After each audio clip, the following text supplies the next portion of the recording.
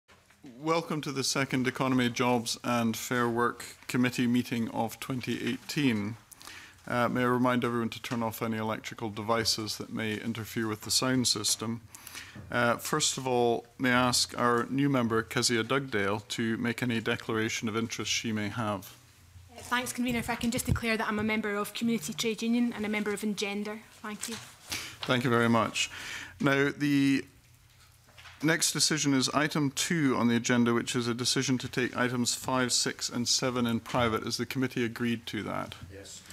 Thank you. Um, I would now welcome Keith Brown, Cabinet Secretary for Economy, Jobs and Fair Work, along with uh, those from his team who are with us, Lorraine King, who's Head of Consumer Competition, the Regulation Unit, uh, Denise Swanson, who is head of Access to Justice Unit, Greg Walker, who is a solicitor with the Scottish Government Legal Directorate, and John St Clair, the senior principal legal officer in the Scottish Government.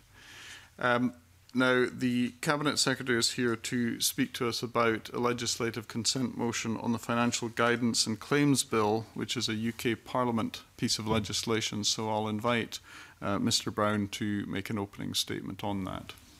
Uh, thank you, Convener, and thanks for the opportunity to speak in support of this LCM. Uh, the Financial Guidance and Claims Bill makes provision for, first of all, establishing a new financial guidance body, including provision about cold calling and a debt respite scheme, uh, as well as the funding of debt advice in Scotland, Wales and Northern Ireland, and the regulation of claims management services. And the Bill's overarching focus is on ensuring members of the public are able to access free and impartial money guidance, pensions guidance and debt advice. It also has an access to justice purpose, ensuring that they are able to access high quality claims handling services by strengthening the regulation of claims management companies. Uh, to enable this, the bill provides in two areas. Uh, first of all, the creation of a single financial guidance body and provision for the funding of debt advice in the devolved administrations, and also the transfer of claims management regulation from the Claims Management Regulation Unit in the Ministry of Justice to the Financial Conduct Authority. Uh, the bill also makes provision for two connected purposes, the creation of a debt respite scheme, also known as a breathing space scheme, by secondary regulations, and the introduction of a ban on cold calling by secondary re regulations. The Single Financial Guidance Body, or SFGB, will replace three publicly funded services currently provided by the Money Advice Service, PensionWise and the Pensions Advisory Service. It will be responsible for delivering debt advice in England and money guidance and pensions guidance across the UK. Uh, the provision of debt advice has already been devolved and this bill devolves the levy funding associated with this debt advice provision. These monies are gathered from an existing levy on the financial services sector under the Financial Services and Markets Act 2000. However, under the terms of the new funding formula for devolved levy funding for debt advice provision in Scotland, the Scottish Government has negotiated an improved allocation that will ensure Scotland's share takes account of, first of all, the adult population share that we have and also the levels of indebtedness in Scotland. Eh, accordingly, without this LCM, the provision for levy funding for this advice provision would not be devolved to Scotland, meaning existing less favourable financing arrangements would continue to apply. And as outlined in the LCM, other provisions under Part 1 of the bill will have a bearing on Scotland. For example, the statutory objective on the SFGB to work closely with the Scottish Government on the provision of information, guidance and advice and a requirement on the SFGB to work with the Scottish Government in coordinating the development of a national strategy to improve the financial capability of Scottish citizens and their ability to manage debt, and the provision, of course, of financial education to children and young people. Beyond the specific core functions of the SFGB, the Scottish Government has also obtained agreement on certain wider principles that shall apply in respect of the new body, namely that it must take greater account of differences in the money and debt advice landscape in Scotland, to ensure that available resources are pooled effectively, delivering a more holistic and joined-up advice landscape, and also establishing a committee with membership drawn from representatives from each of the devolved administrations thereby embedding the Scottish Government and SFGB governance arrangements, providing it with influence and ensuring that collaborative working is achieved in practice across money and pensions guidance, and also be capable of channeling funding in a way that best ensures effective oversight and coordination, uh, or delivering debt advice in light of the devolution of levy funding. Uh, part 2 extends regulation of claims management companies by the Financial Conduct Authority to Scotland in a development sought by the Scottish Government and welcomed by the Justice Committee in its Stage 1 report on the civil litigation expenses and group proceedings, Scotland Bill. So I hope the committee supports our view that a legislative consent motion is necessary and happy to try and answer any questions, convener.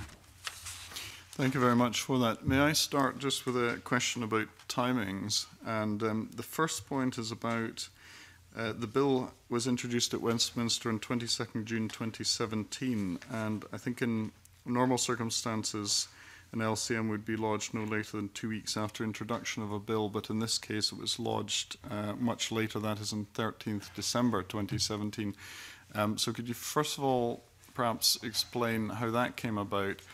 And the second question I have is, when do you envisage the bill coming into force in Scotland and are, is everything set up and being prepared so that it can take effect and be effective for those who um, need debt advice and so forth and claims management companies here?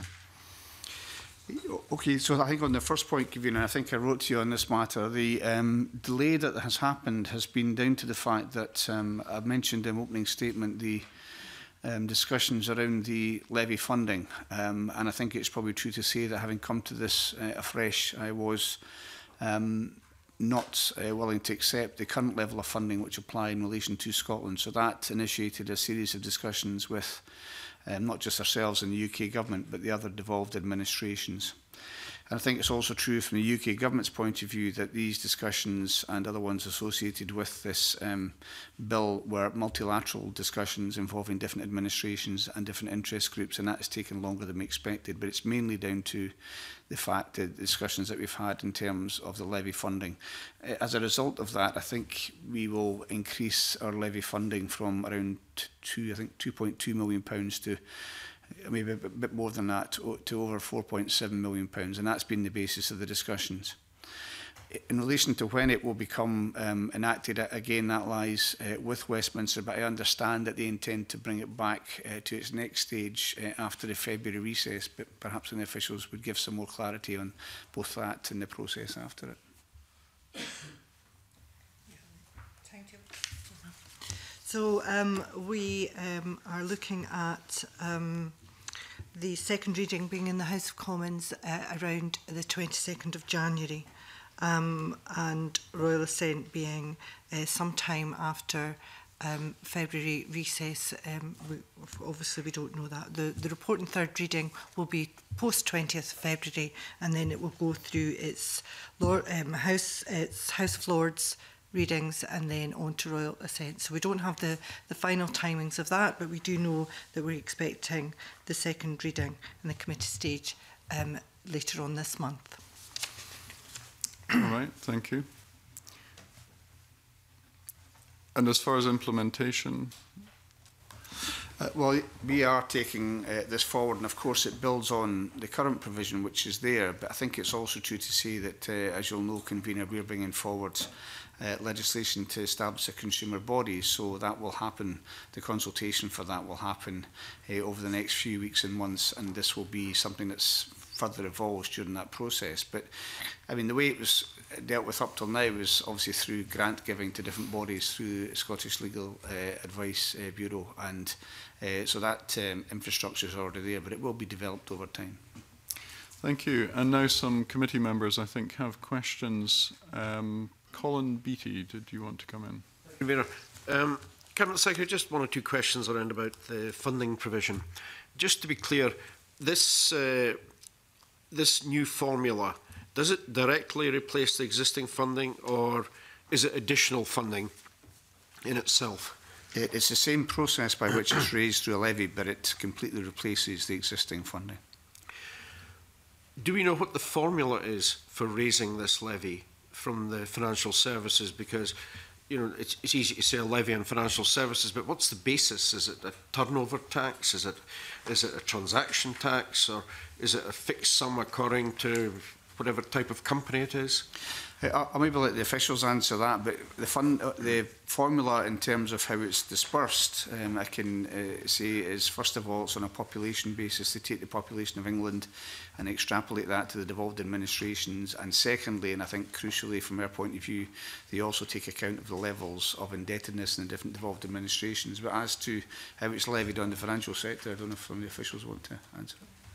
The levy is set out in the Financial Services Act uh, 2010, um, and I believe it is based on turnover of companies in the Financial Services Act, but I would have to check and write back to you later today if that was something you wanted more on. I'm just interested the way that uh, it's often phrased here, which says it's a direct levy on financial institutions in Scotland. Clearly, it's not.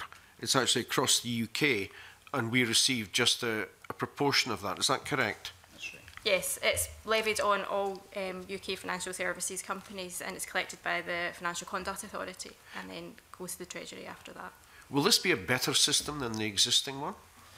I can think of a, a couple of million reasons why it would be better, but um, I think it does give, and that's entirely down to the additional funding, which will be virtually doubled, but I think it's probably best viewed through the fact that, um, as I say, we have these new consumer um, protection powers, really, in terms of uh, guidance and so on. And I do think it helps us with that mix of new powers to make sure we have as rational um, a debt advice and consumer advice landscape as possible mean, there are currently, I understand, something like 400 different advice bodies in Scotland, not all to do with finance, obviously. But um, so I think um, this additional resource um, will help us make sure that we can dovetail as best we can the work that Citizens Advice Scotland does, for example, but other bodies as well. So uh, I, I think it's a, an improved uh, basis on which to go forward.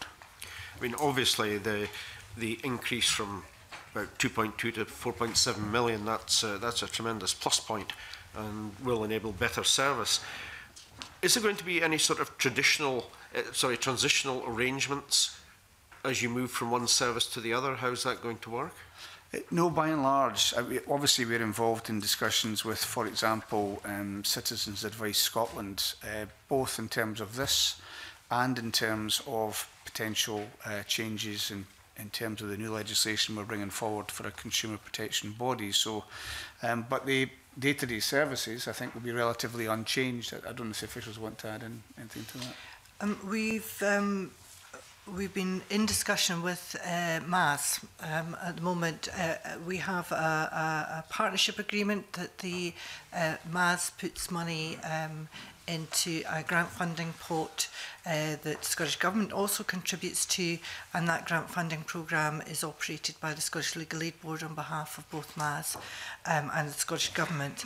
And we have been having discussions with uh, Money Advice Service um, over the course of the, the final part of last year, and those are continuing, on how we manage that transition from the, the MAS direct funding into Scottish Government and the Scottish Government having that that funding uh, directly into its budget. So uh, those discussions are continuing. Given, given that uh, this appears to be a turnover tax. Does that mean there's a potential for the amount raised to go up or down? And if so, how, how will that impact us? I would, well, how it'll impact us would be if the quantum that's taken in is increased, then the same formula that I mentioned before would apply. So for Scotland and devolved administrations, it'd be whatever, um, it'd be that share according to both uh, adult population and indebtedness that would apply to whatever the quantum is. So that's how it would be, uh, if you like, flexed if it changes either up or down. Will the Scottish Government have any uh, discussions ongoing with the Treasury uh, in order to manage how this levy is, is being allocated? Yes, we'll do that both um, directly as is necessary and also, I'd imagine, through the representative on the committee that I mentioned of the single financial uh, body as well. So we're able to have those channels of communication with the UK government. Thank you. And Kezia Dugdale. Thanks, Convener. I've got um, some specific questions about the provision of debt advice services, which I think we'll all get to a bit further down the line. But just on the overall pr principle of the UK Act applying in Scotland, are you in any way worried about um, the potential inflexibility of that? So um, when I was reading through the papers, the thing that struck me in particular might be around claim management companies. If there was a very specific problem in Scotland around claim management companies that we wouldn't have the flexibility to address. For example, if a company like Provident, which is um, very prominent in Scotland and Northern Ireland, but less so in England, perhaps missold a product, would we have the flexibility in Scotland to respond to that under the current arrangements? Yeah, I, I think uh, I think we would, although I think we've had a very different, you're right to see a very different landscape in Scotland up to this point in terms of claims management companies, which again the officials will be better versed in this than I, but largely they've been um, at, um, taken forward through um, legal companies. So uh, Digby Brown and people like that are the ones that have taken it forward. And that's meant there's been different requirements, probably a lesser requirement in terms of the, um, if you like, the um, monitoring uh, of their behaviour. That is now changing. So we have now moved to a situation where claims management companies in Scotland are more like those which are operating elsewhere in the UK. But um, so I, I don't think that that should be a problem for that reason, but I don't know if the officials want to come in on that point at all. Um, uh, the FCA already has a UK-wide remit, so um, is is very familiar with the with the Scottish landscape. It has already uh, been uh, in contact with the Scottish government. Um, we've had discussions with them on how they might properly address the Scottish context in that the new regulatory power that it will have. Um, and uh, I'm, I'm certainly meeting with them again later this week. So they are very keen to make sure that the Scottish landscape is is is very well accommodated in the way that in which it uh, the way in which it's going to regulate cleans management companies in Scotland. Also, um, there will be subordinate legislation required um, to uh, implement the, the main provisions in this bill. And again, we're working very closely with the um, um, HM Treasury um, on the development of those subordinate um, that subordinate le um, legislation. So a lot of the detail of how that might be delivered and uh, how that needs to be delivered for the Scottish context will be dealt with by then. So that's an ongoing process that we're already drilling into at the moment. I keep going. If you wish to ask, another sure, question. Uh, take you on to the issue of indebtedness uh, or over indebtedness, which you've mentioned a couple of times. I think that's really interesting because Um, the amount of debt that you're in doesn't necessarily correlate with the amount of help that you need proportionately. So if I think of somebody who's in a part-time job and a low wage that has one payday loan that's causing them no end of trouble, they might need very serious long-term debt advice, which um, is, is much greater than the sum of the debt that they actually owe. Is that built into the formula or is the way that it works based purely on the amount of money people owe? Does that make sense? Uh, Uh, well, it, again, it's, it's, a good question. I say whether the level of indebtedness. I think that relates to the number of people, but officials can tell me otherwise, rather than the actual quantum of what the, the, the debt is. But the point that you make about how it's very different for different individuals, that should be reflected in what we. It's not necessarily an issue for. Uh, the UK government or the FC. It's how we configure the debt advice that we are able to provide in Scotland through different agencies. But uh, that, that question of whether it's the number of people, uh, it just says the level of indebtedness in the uh, documents I've seen. It would be interesting to get an answer to that. The level of debtedness comes from a formula that Money Advice Service currently collect data on, and it was based on a range of criteria, including deprivation indexes, um, level of debt, um, income, and a whole range of factors that come together to come up with the indebtedness ratio. Um, so it's not just the quantum of debt that an individual has. So would you be confident that um, you know if the prominence of debt in Scotland is is low level but very hard for people on low incomes that that's incorporated into the amount of money we'll receive in Scotland? Yes, we believe okay. it is. Okay, that's helpful. And my final uh, question, convener, would be around uh, the sense that the cabinet secretary mentioned the amount of money we'll get from this levy will be double. I think you said uh, what we've previously received. Can you give debt advice services the assurance that they'll see double the, the money in return?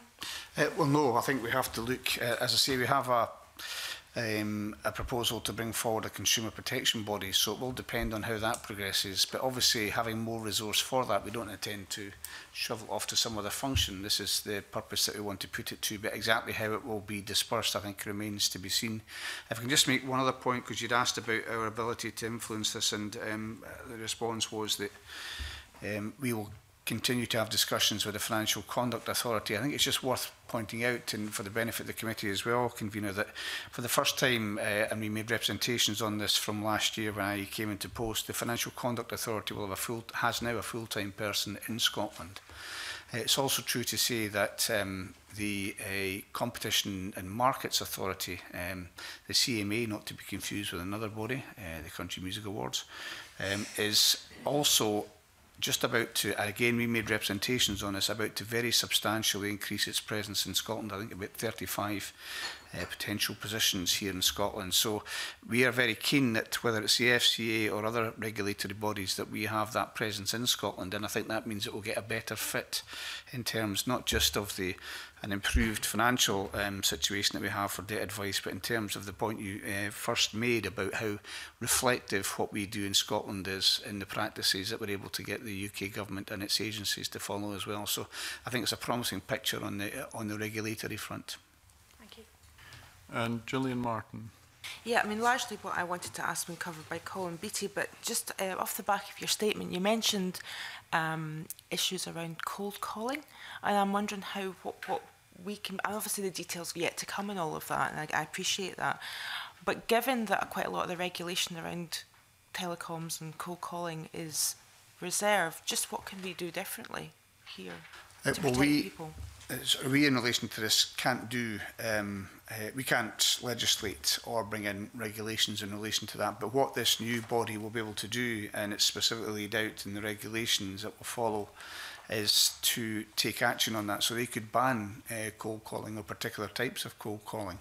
Now, I've written on a number of occasions to the UK government asking them to do that, to take a much tougher line on nuisance calls in particular.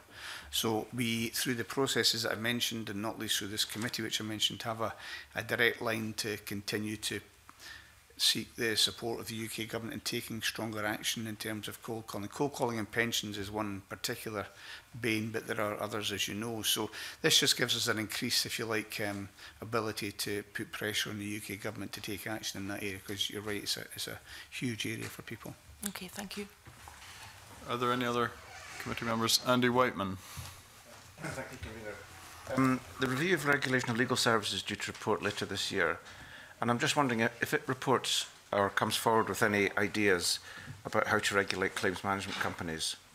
Um, in a sense, one will already have ceded authority to the UK Parliament to legislate uh, on that. But are you comfortable that there'll will be sufficient flexibility to incorporate any of its recommendations in, for example, secondary legislation that might be necessary?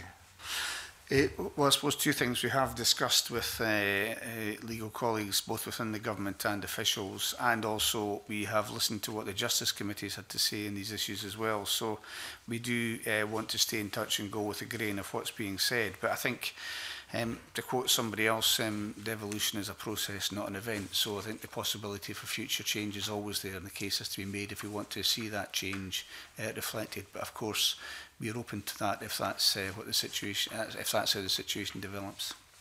So, in a sense, the position that we will be in is you have maximum flexibility. You've got a UK regime in place, but you can amend that if you see fit in future. Yeah, I, I would concede the point that in relation to this, it's an extremely um, if not complex, certainly interrelated set of powers which are going on here. There's some which are quite clearly reserved in relation to pensions and some which are debt advice which is uh, devolved. Um, so it is quite complex and I wouldn't pretend that the two governments are completely of the same view as to what will be devolved and what's reserved. So that discussion has been going on up till now and I'm sure it will continue. And if it seems to be the thing to do and if, as you say, depending on other um, uh, other developments, if it seems to be the case that we think it's best to, to move forward in that way, then we'll do that. We've signalled that already to the UK government. Okay, thanks. Um, are there any other questions from committee members?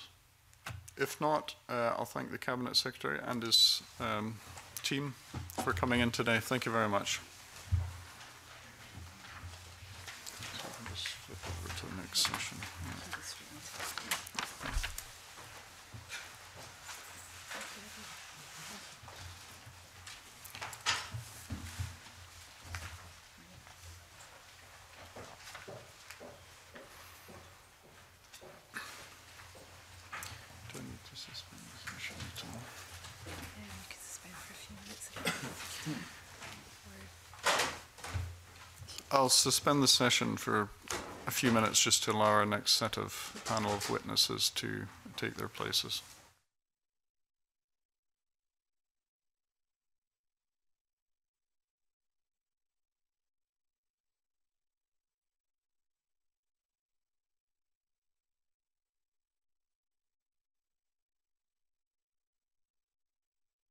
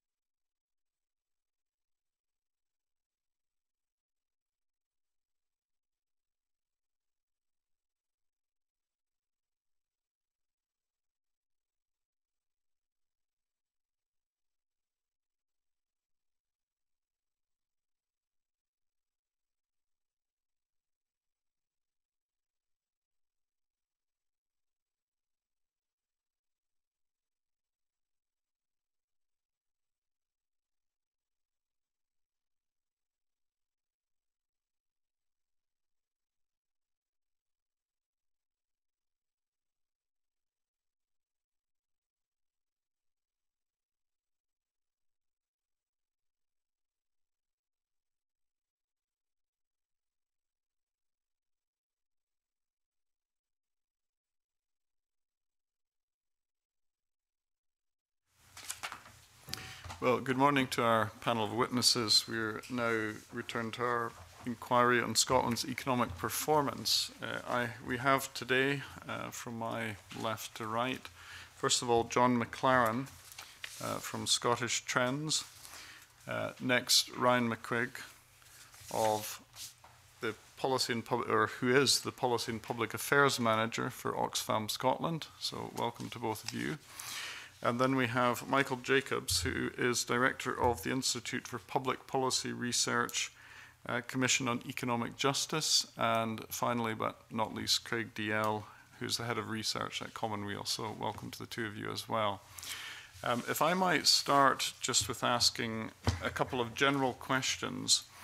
Uh, first of all, I should say that don't feel you have to answer every question. Some may wish to come in on different uh, aspects of different questions, and we don't want this to be too formal in the sense of everyone wanting or thinking they have to come in and put their penny in on every question, every answer.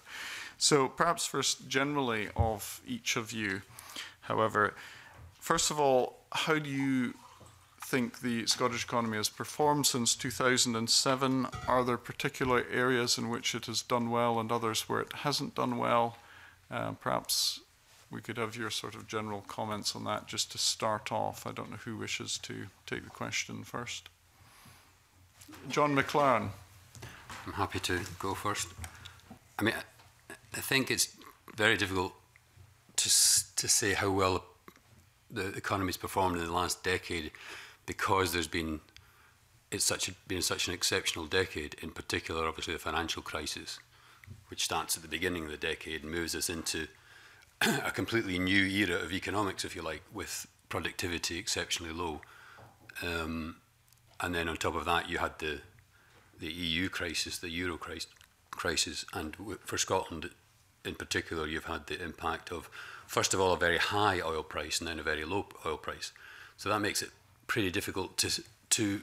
I mean, obviously, in comparison to um, historic, it's done very badly in GDP terms. Although the um, the, the labour market is still is doing quite well, which is again uh, a change from from what's gone on in the past. Looking at it in comparison to the UK, it's been fairly similar over over a, the whole, but they've taken different paths to get to where they are.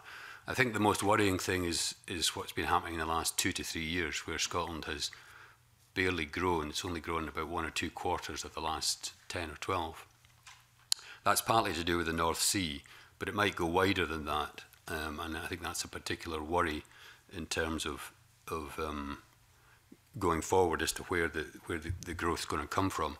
In terms of areas that have done well and badly, it's difficult to tell the standard of the, the statistics for Scotland is such that it makes it very difficult to to really look at the sectors and say that's done well, that's done badly. I think there was a, a paper by Spice that said that um, one of the best areas for um, employment growth was communications, uh, uh, information communications and tele um, transport.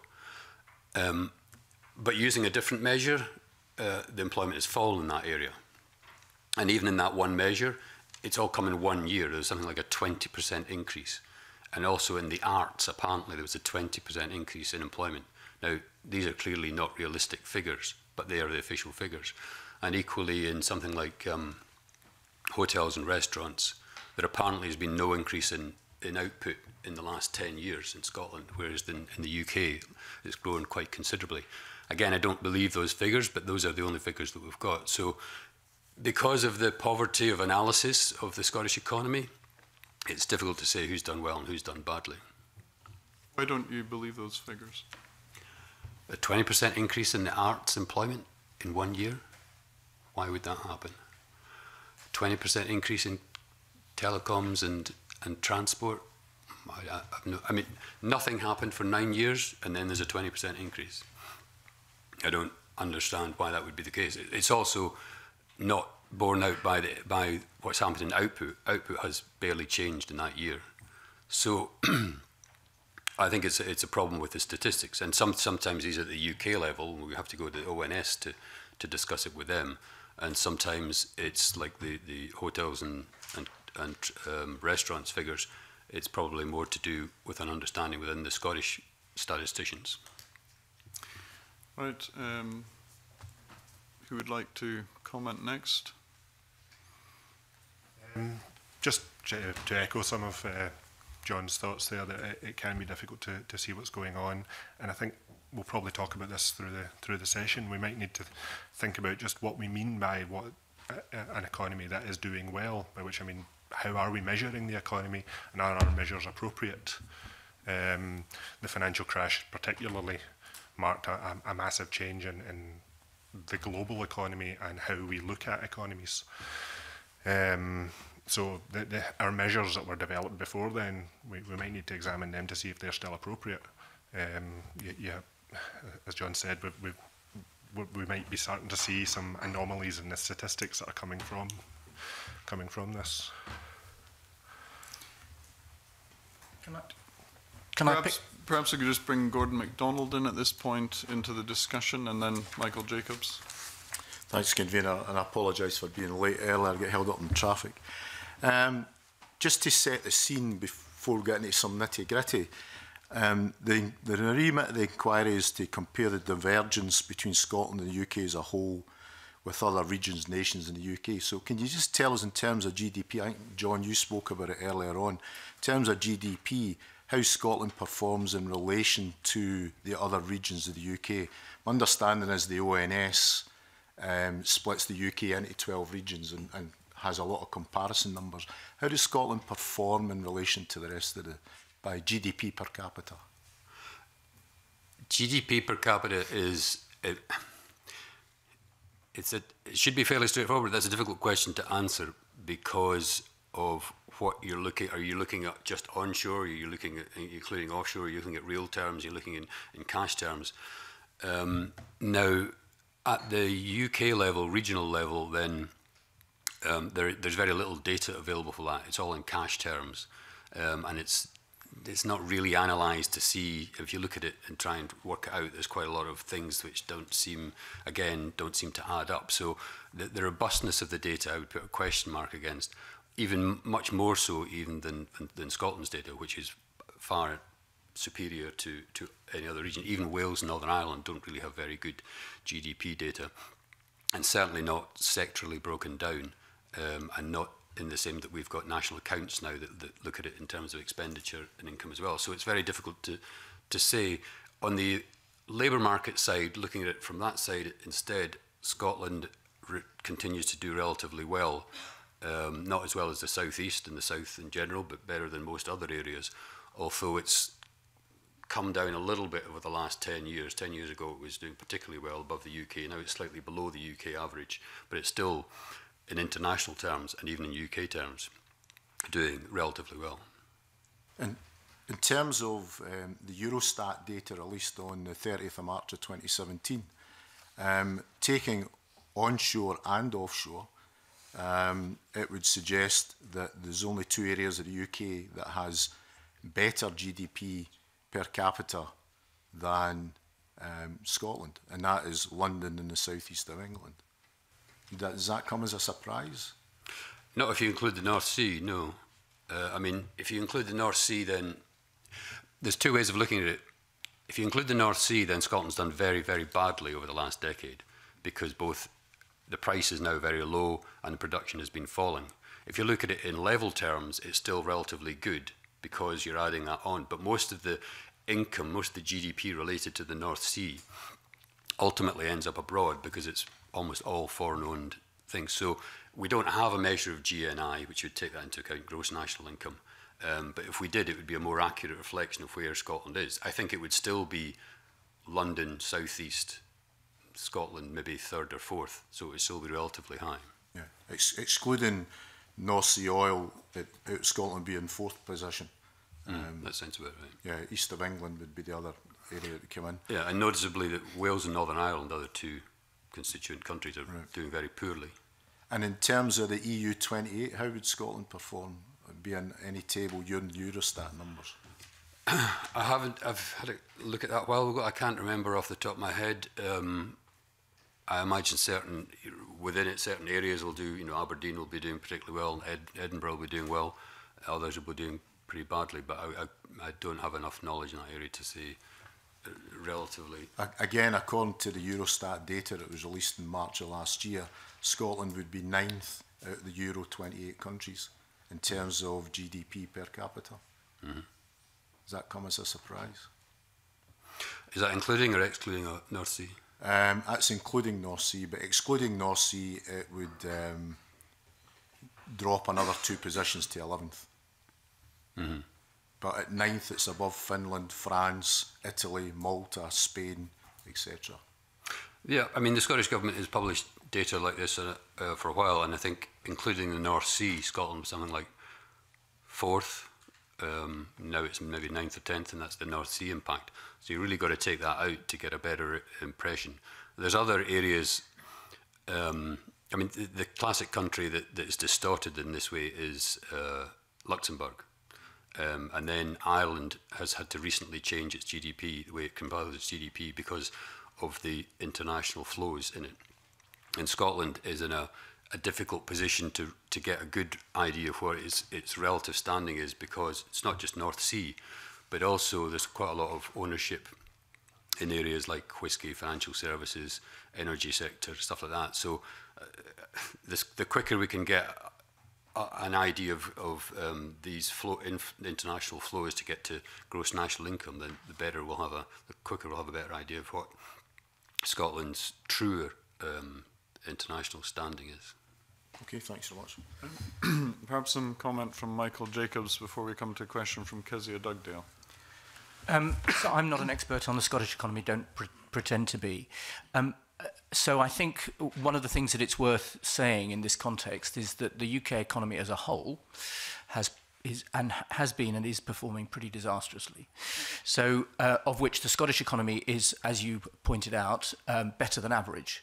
But the average is very distorted because the UK economy is overwhelmingly dominated by London and the South East.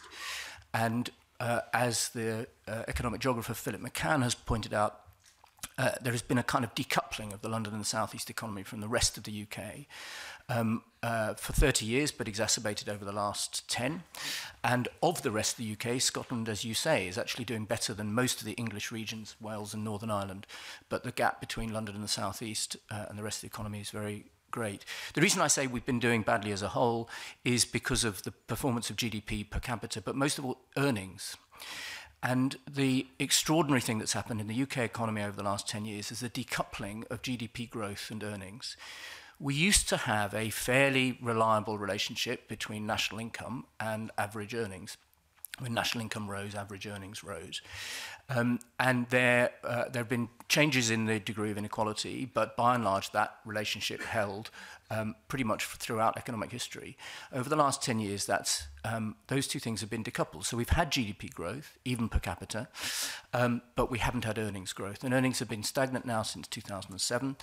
And this is um, something very fundamental. And I, th I think we all really need to be aware of how fundamental it is.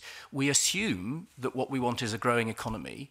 Those of us who spend a little bit of time thinking about it assume that the reason we want a growing economy is because that means we have growing incomes. But we don't anymore. And that does call into question uh, the, uh, the, the nature and content of our economic growth and its relationship to earnings. And I think this is a bit of a crisis for policymakers throughout the UK. And it's not confined to the UK. So that's the other thing to say, which is that most developed countries have been going through a similar kind of uh, problem since the financial crisis, and in some cases, particularly the United States, since long before, which is that growth, um, the benefits of growth are not flowing to the majority of households. Uh, the US is the most stark example of this, where almost the entire benefits of growth over the last 30 years have flown to the top, have gone to the top 10%, and quite a, uh, and a very high proportion to the top 1%. But it's something which all developed economies have, have experienced, even those which have much lower levels of inequality. So Um, I uh, obviously this committee wants to look at the performance of the Scottish economy, but it is part of a wider UK economy, and it, that is part of a wider kind of global Western capitalist economy, which has not been performing well in very fundamental respects. Um, Gordon MacDonald, a, brief follow-up, and then Kizzy and Just, just on that point you raised, Michael, how, how would you rectify that situation? So do you want to take the rest of the session uh, to answer that question? I mean, I, I have a whole series of things which I think, I don't know whether that should be the subject of kind of further questioning but after you've done some ground laying, but okay. that is exactly what I've come to talk about. So, but I, I think probably we should have some more general comments first and then let's go through some of the, some of the things. Yeah, perhaps your two best points at this stage. um, no, I don't think I'm getting in, in tied at the moment. Right, Kezia Dugdale. I've got a question that I'd like to hear from all of our guests on, but before I do that, if I can just pick up a point uh, from John's uh, opening remarks. He discussed a, a poverty of analysis around Scotland's economy. W what do you mean by that? What's missing and what would you do about it? Um, when the, the Scottish statistics are released uh, for GDP uh, or for the labour market, there's no analysis of why something has changed. Occasionally, if something like Longanic closes down, there'll be a footnote saying that the, this figure is low because of that. But by and large, there's no real analysis of um, these, this thing has changed and uh, we're a bit concerned, we don't really know why this. If you ring them up, as I do, uh, they quite often do have quite a lot of information about why a particular sector has done particularly badly. But for some reason, and I know there's a debate within the department, that is not put out into the public to, to a large degree. Um, so that, that's the first element of it.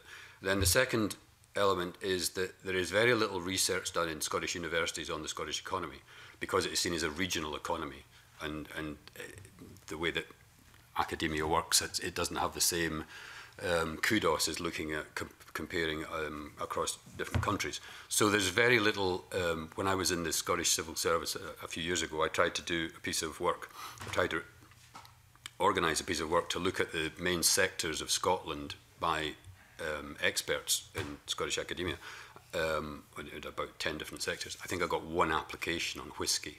Um, now, it may be slightly different. This was 20 years ago. It was slightly different now, but it's not that different. So unlike a place like, say, Ireland, which um, it's okay, it's smaller, but has a more detailed understanding of its own um, of its own economy, then that makes it more difficult to, to know how, what to do about it and what the underlying problems are. And then that's also um, made more difficult by the fact that there aren't many economic think tanks in Scotland who, um, with with the exception now of, of Fraser Valander, who have beefed up their, their, their analysis. Um, but you know, if you compare that to, to London or even to Ireland or most other countries, there isn't much real uh, analysis of the Scottish economy done by sort of halfway houses between politics and, and academia. That's helpful, thank you. Uh, and a more generic question for the panel. I mean, there's obviously um, a debate around the degree to which public policy influences Scotland's economy and Scotland's economic growth. So I'd be really interested to hear from our guests um, one policy from either the Scottish or the UK government that's had a direct impact on Scotland's economic performance, and you can determine whether that's been a positive or a negative one and share it with us.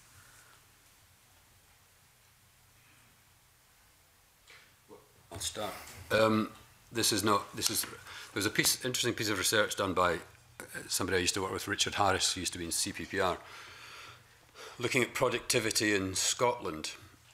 Now, traditionally, it's um, two areas where, where government is, is uh, tries to spur things on, is more inward investment and more entrepreneurship to get more um, companies started. His research found that in Scotland, inward investing companies and just new startups um, had uh, contributed negatively towards productivity. Now, that's contrary to most international um, findings and contrary to the finding that you got for the UK as a whole. Now, as with all research, it, probably more research to be, needs to be done to understand it better, but there's clearly a fundamental issue there. Now, in the inward investment, it could be related to the fact of the um, Silicon Glen impact that, that, that ultimately was, was negative. But it's not very, it's pretty dispiriting if the evidence is that if we have more startups and more international investment, it'll, it'll worsen our productivity. That can't be good in the long run. So an area like that, which is um, what you would want the, the policy to be, does, does, seems to be having a negative impact in Scotland. And so we need to understand that better. yeah. I'm not sure it's such a, a policy area, but I think when we talked about what we measure is what a country values. So I think the sort of national performance framework was a sort of stepping stone or going a step in the right direction to that path about what really matters to Scotland. Um, for Oxfam, back in 2012, we did a, a sort of consultation with 3,000 people in Scotland said, what matters to you to lead a good life? And people didn't say the number one priority was economic growth Um, they didn't say that they wanted fast cars. They didn't say they wanted big TVs. They said like more sort of social foundation levels. They talked about affordable and safe housing, physical, good physical and mental health, living in a neighborhood which is safe to go outside. And then it was having work, but having satisfied work, whether that was paid or unpaid, and then having good family relations. So I think national performance framework sort of gone the right step, um, but I think it still has economic growth or it has growth at the heart of it. I think if Scotland really values what the people of Scotland want, it needs to invest more on that sort of measurement level and actually do policies that rectify that. As we said about GDP, um, Brian, we yeah. are going to come on to All some right. questions around inclusive growth, but if I could just push you a little bit mm-hmm. further mm -hmm. on, you know, a, an interventionist policy that's come from either the Scottish or the UK government that's had either a positive or a negative effect. I'm, I'm sure Oxfam would have a view on that. Yeah, I think the sort of the fair work aspect of it in the Fair Work Convention where it has gone out and gone to people and said what, what matters for work and how they can try and do businesses. I know the Business Pledge, um, we're we're not overly critical of it, but we're saying that it's again a good step. But I think that's it's not sort of I don't think it's compelling businesses enough, and I think more could be done on that aspect. So I think talking about fair work and decent work as a pair compared to the UK, where it's just jobs, jobs, jobs, is going to get people out of poverty, uh, as we've seen of in work poverty levels. That's not the case. So I think those sort of two measures about national performance framework and about sort of fair work and going out to businesses and the business pledge sort of is a step in the right direction, but a lot more needs to be done. Um, well, it hasn't had an effect yet because it's only just been announced, but we were very, Commonweal, we were very excited to see the, the announcement of the, the Scottish National Investment Bank and to see that starting to, to, to get some planning and funding behind it, this does have a potential to have a major positive effect on the Scottish economy, uh, reforming the way we fund housing, fund energy and, uh, and other projects. But I mean, we're looking at the last 10 years yeah. rather than the future. I, I support the Scottish Investment Bank too, but we're trying to do an analysis of the last 10, so if there's mm. something else that you had. Um, well, I'll let others speak to, okay. speak to that. Michael? Um, well, there's been something called austerity for the last um, eight years, and that has affected the whole of the UK economy, including the Scottish economy, more than any other simple thing. Um, e-, the economy, jobs, earnings depend on demand, and we've had a massive withdrawal of demand over the last eight years. Um, uh, and that demand has not just been uh, lost in the in the um, public sector. What happened after the financial crisis was that private sector, the private sector retrenched. It had huge debts of its own. The, the crisis was a crisis of private sector debt, not public sector debt, of course. So the private sector saved and has been saving ever since. And UK companies are net savers in the economy. We, what companies are meant to be for is taking other people's savings and borrowing and investing and then growing. Uh, British companies, including Scottish ones, have been net savers in the economy, which means that they've been withdrawing demand. Um, at the same time, until very recently, overseas demand was very weak. Um, and if overseas demand is weak, private sector investment is, uh, is weak and you've got net saving. Um, and the public sector also withdraws its demand by cutting public spending.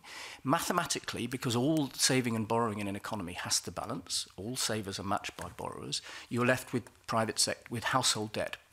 So if you look at the sources of growth over the last seven years, it's been uh, household debt. Household debt has now risen again as people um, uh, borrow to uh, getting close to the levels it was in in 2007-8. The Bank of England has already um, uh, warned about unsustainable levels of debt.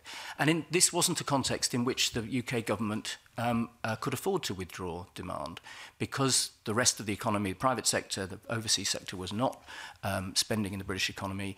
That uh, we've been left with, with household debt. And so we've had not enough demand in the economy. This was a time when the UK government could have borrowed very, very cheaply with absolutely record low interest rates. Um, and so that's ultimately the main reason why the UK's recovery from the recession of 2009 uh, 8 9 has been the slowest of all European countries, in fact, of, of almost all developed countries and why we've only recently, in the last two years, got back to per capita household income, um, uh, which is which as it was before 2008. So that really is the overwhelming policy context for Scotland as for the rest of the UK. Thank you. Um, may I just follow up on that? How, how would that contrast with other European Union country economies, for example, Germany, where they have surpluses um, and yet introduced what they would have called austerity measures, or some would have called austerity measures, uh, where these same issues that we have in the UK that you've touched on, such as rising household debt, um, don't exist. And yet the same measures were introduced, which you seem to be suggesting have caused certain things in the UK, but the same measures in other countries didn't result, to put it in broad terms in this. So I, I'm not sure I follow how you say that the one follows from the other when so, it didn't so the, in other the, countries. So Germany is a very instructive example. The structure of the German economy is different from the UK structure. So German firms have been investing, and the overseas balance for Germany is much more favourable. Um, which allows them to have had a, a much lower level of austerity. So the degree of withdrawal of demand by the public sector in Germany was much less. Um, Uh, but that's allowed them, the, their, uh, the conditions in the rest of the economy has allowed them to have a mild uh, package of austerity measures over the last seven years with much less impact on the German economy, which is much uh, uh, stronger. So it is, um, I, I'm not saying that, uh, uh, that in every economy at all times, um, uh, austerity, reduction of public spending is a bad. But in the British economy, at a time when British companies were not investing when our overseas balance was so poor and when we could not afford household debt to be rising, it was the wrong policy. And that's the, the context. And so you absolutely have to look at different economies and different economies have behaved differently at different times. If you look at the US economy, you've had a stimulus package which, uh, which was kept, which was maintained for much longer. Um, so the uh, American economy didn't go through the, the, the uh, austerity, the depth of austerity that we did, and it came out of its, its recession in uh, much earlier than we did. And you really do need to look at the speed with which economies have came out of that recession, the debt that they got into, but then the speed they came out of it, and their overall balance of their of their of each of the four sectors of the economy to see the way in which Britain has been an outlier. And that is where our very low uh, uh growth rates come from, in my view. I'm just wondering about, uh, in terms of forward planning, is it also reflective of how countries plan going forward, whether there is proper long-term planning For example, the, the German approach things would be to have very long-term planning in their approach to such matters. I would, I would uh, absolutely say so, but it's many, it's many things. Germany has a much more resilient business sector with banks that are much more involved with their companies. They take a longer term view of investment, so bank, German banks tend to be much more tolerant than British banks. They tend to be much more invested than British banks are in, in German companies. German companies don't lay off workers um, as easily. They tend to retain workers. They have trade unions who organise collective bargaining, which actually moderates wage growth. The interesting thing about Germany is its strong, strong trade trade unions, but not very strong wage growth. The trade unions help moderate wage growth in return for relatively um, stable employment in, in companies. So there's a, the German economy is really structured very differently. I hope we'll get on to the issue of employment because I think that's a really an employment regulation and bargaining power because I think that's very important. It's a particularly important part of the German story. Right, thank you. And now to Dean Lockhart. Uh, thank you very much. I'd like to continue the discussion on policy, but br bring it back to, to Scotland. Um, this, as you will know, the Scottish Government's economic strategy is centred around the four I's, uh, investment, internationalisation, innovation and inclusive growth. I'd like to get views from uh, each of our members on how the economy has performed against or in those four areas over the past 10 years. And perhaps I could start with uh, Professor McLaren because um, your index, the index you publish of uh, social and economic well-being covers a number of these areas. And I think that shows over the last decade that Scotland has uh, slipped from 16th place in OECD to 20th. Uh, perhaps you could uh, give us some views and some idea uh, of the trends behind that move downwards in the index of um, social and economic well-being. Yeah, the um, Scotland's some of Scotland's slip is due to the fact that the index looks at GDP and uh, includes the North Sea for Scotland uh, and looks at it in, in cash terms. So that takes in the fall in the North Sea. So in a, in a sense, it's the reverse to the point I was making earlier on to Gordon MacDonald, um, that that isn't a real loss to Scotland because it was it's largely going overseas. So it it, it, it kind of exaggerates the, the, the drop in Scotland's position a little bit. But on the other hand, the, the, the previous position, the earlier position of being high, was also kind of like flattering Scotland because the GDP level was, was artificially high because most of it is, is ending up overseas. However, the other um, aspect was the decline in education standards as measured by PISA, which is, I think, Scotland is one of the worst performers. I think the only the only one the only country that performed worse than Scotland over that period was Finland, but Finland was first when it started. So it's now not first, but it's still pretty high, whereas Scotland was kind of like mediocre and, and it's, it's, it's falling down. Um, other countries that did particularly well were extending the war in Eastern Europe, Estonia and places like that. However, where it, Scotland is still relatively uh, as its lowest position is in um, uh, its healthiness, health health factor, i.e. its life expectancy, which um, has always been low and hasn't caught up. You would expect over time, if you're particularly low, that you would take uh, examples from other places and you should be able to catch up over time. But that hasn't been the case with Scotland. There's been a slowing down of life expectancy increase in a number of countries, um, but it's particularly worrying when it's your, your, your life expectancy is always fairly low. Now, there's a, a uh, and the, the, the fourth factor is, is um, participation, which I've used the employment rate for, which is not perfect, but it, it gives you some indication, which whereby Scotland has done uh, reasonably well, but within that you would have to look at what sort of jobs are being created. So it's just kind of like, it's a way of widening it out from just GDP because GDP is the most difficult one to measure because as I've said before, for Ireland, Luxembourg, various other countries and for Scotland, it, there, there can be hiccups within the, the data, which means it's, you, you, have to, you have to adjust for it. Um, but it gives you a wider perspective. And I think the, the, the two worries for Scotland are the decline in, in education, which obviously affects your future, uh, the skill levels of your future workforce, and the continued low levels of, of health, which can affect participation um, as well as um, productivity. Yeah. Good. Sorry, go ahead. Yeah, just to talk about the inclusive growth element of it. Um, I think we've seen, we, we did a recent report calling for the Poverty and Inequality Commission. And in that report, uh, to say why it's needed, we said at the minute levels of inequality in Scotland are record high, last seen since the early 90s. And if you look at uh, the wealthiest 10% of Scots own over 9.4 times the amount of wealth, combined wealth, as the bottom 40% in Scotland. So I think inclusive growth has not, you know, transpired in Scotland, and the whole, and that goes back to what we value and do we measure GDP and is it trickle down economics? When we know it isn't, it's more of a sticky treacle that sticks to the top. So I think that I, the inclusive growth, we need to do a lot more. Okay. Would the other members want yeah, to join? up on that point on just even the, the appropriateness of the inclusive growth, because we, as others have said, we're, we're not seeing a growing economy at the moment, and where growth is occurring, it is decoupling from the um, the, the lives of most folk in in, in the country. Um, I think when we talk about inclusive growth, it's probably quite natural for for politicians to kind of focus on the growth part. It's, it's a bit easier to measure and it, it gives a good headline. Um, but we can easily get ourselves into the position where we get growth in the economy and it all goes to the top couple of percent. And that's not very inclusive. If the economy then shrinks, if there's another recession that could tend to hit the bottom 20% more than it hits the top. So it's even less inclusive, and you could get these cycles of economy that rapidly ratchet up inequality. And I think we've been seeing that over the past decade.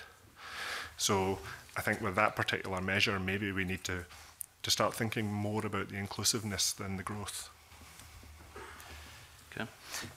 Can I just follow up uh, on one of the other I's, innovation, which is read together with productivity. Productivity, I think, across uh, the UK and across the world is a, is a focus point.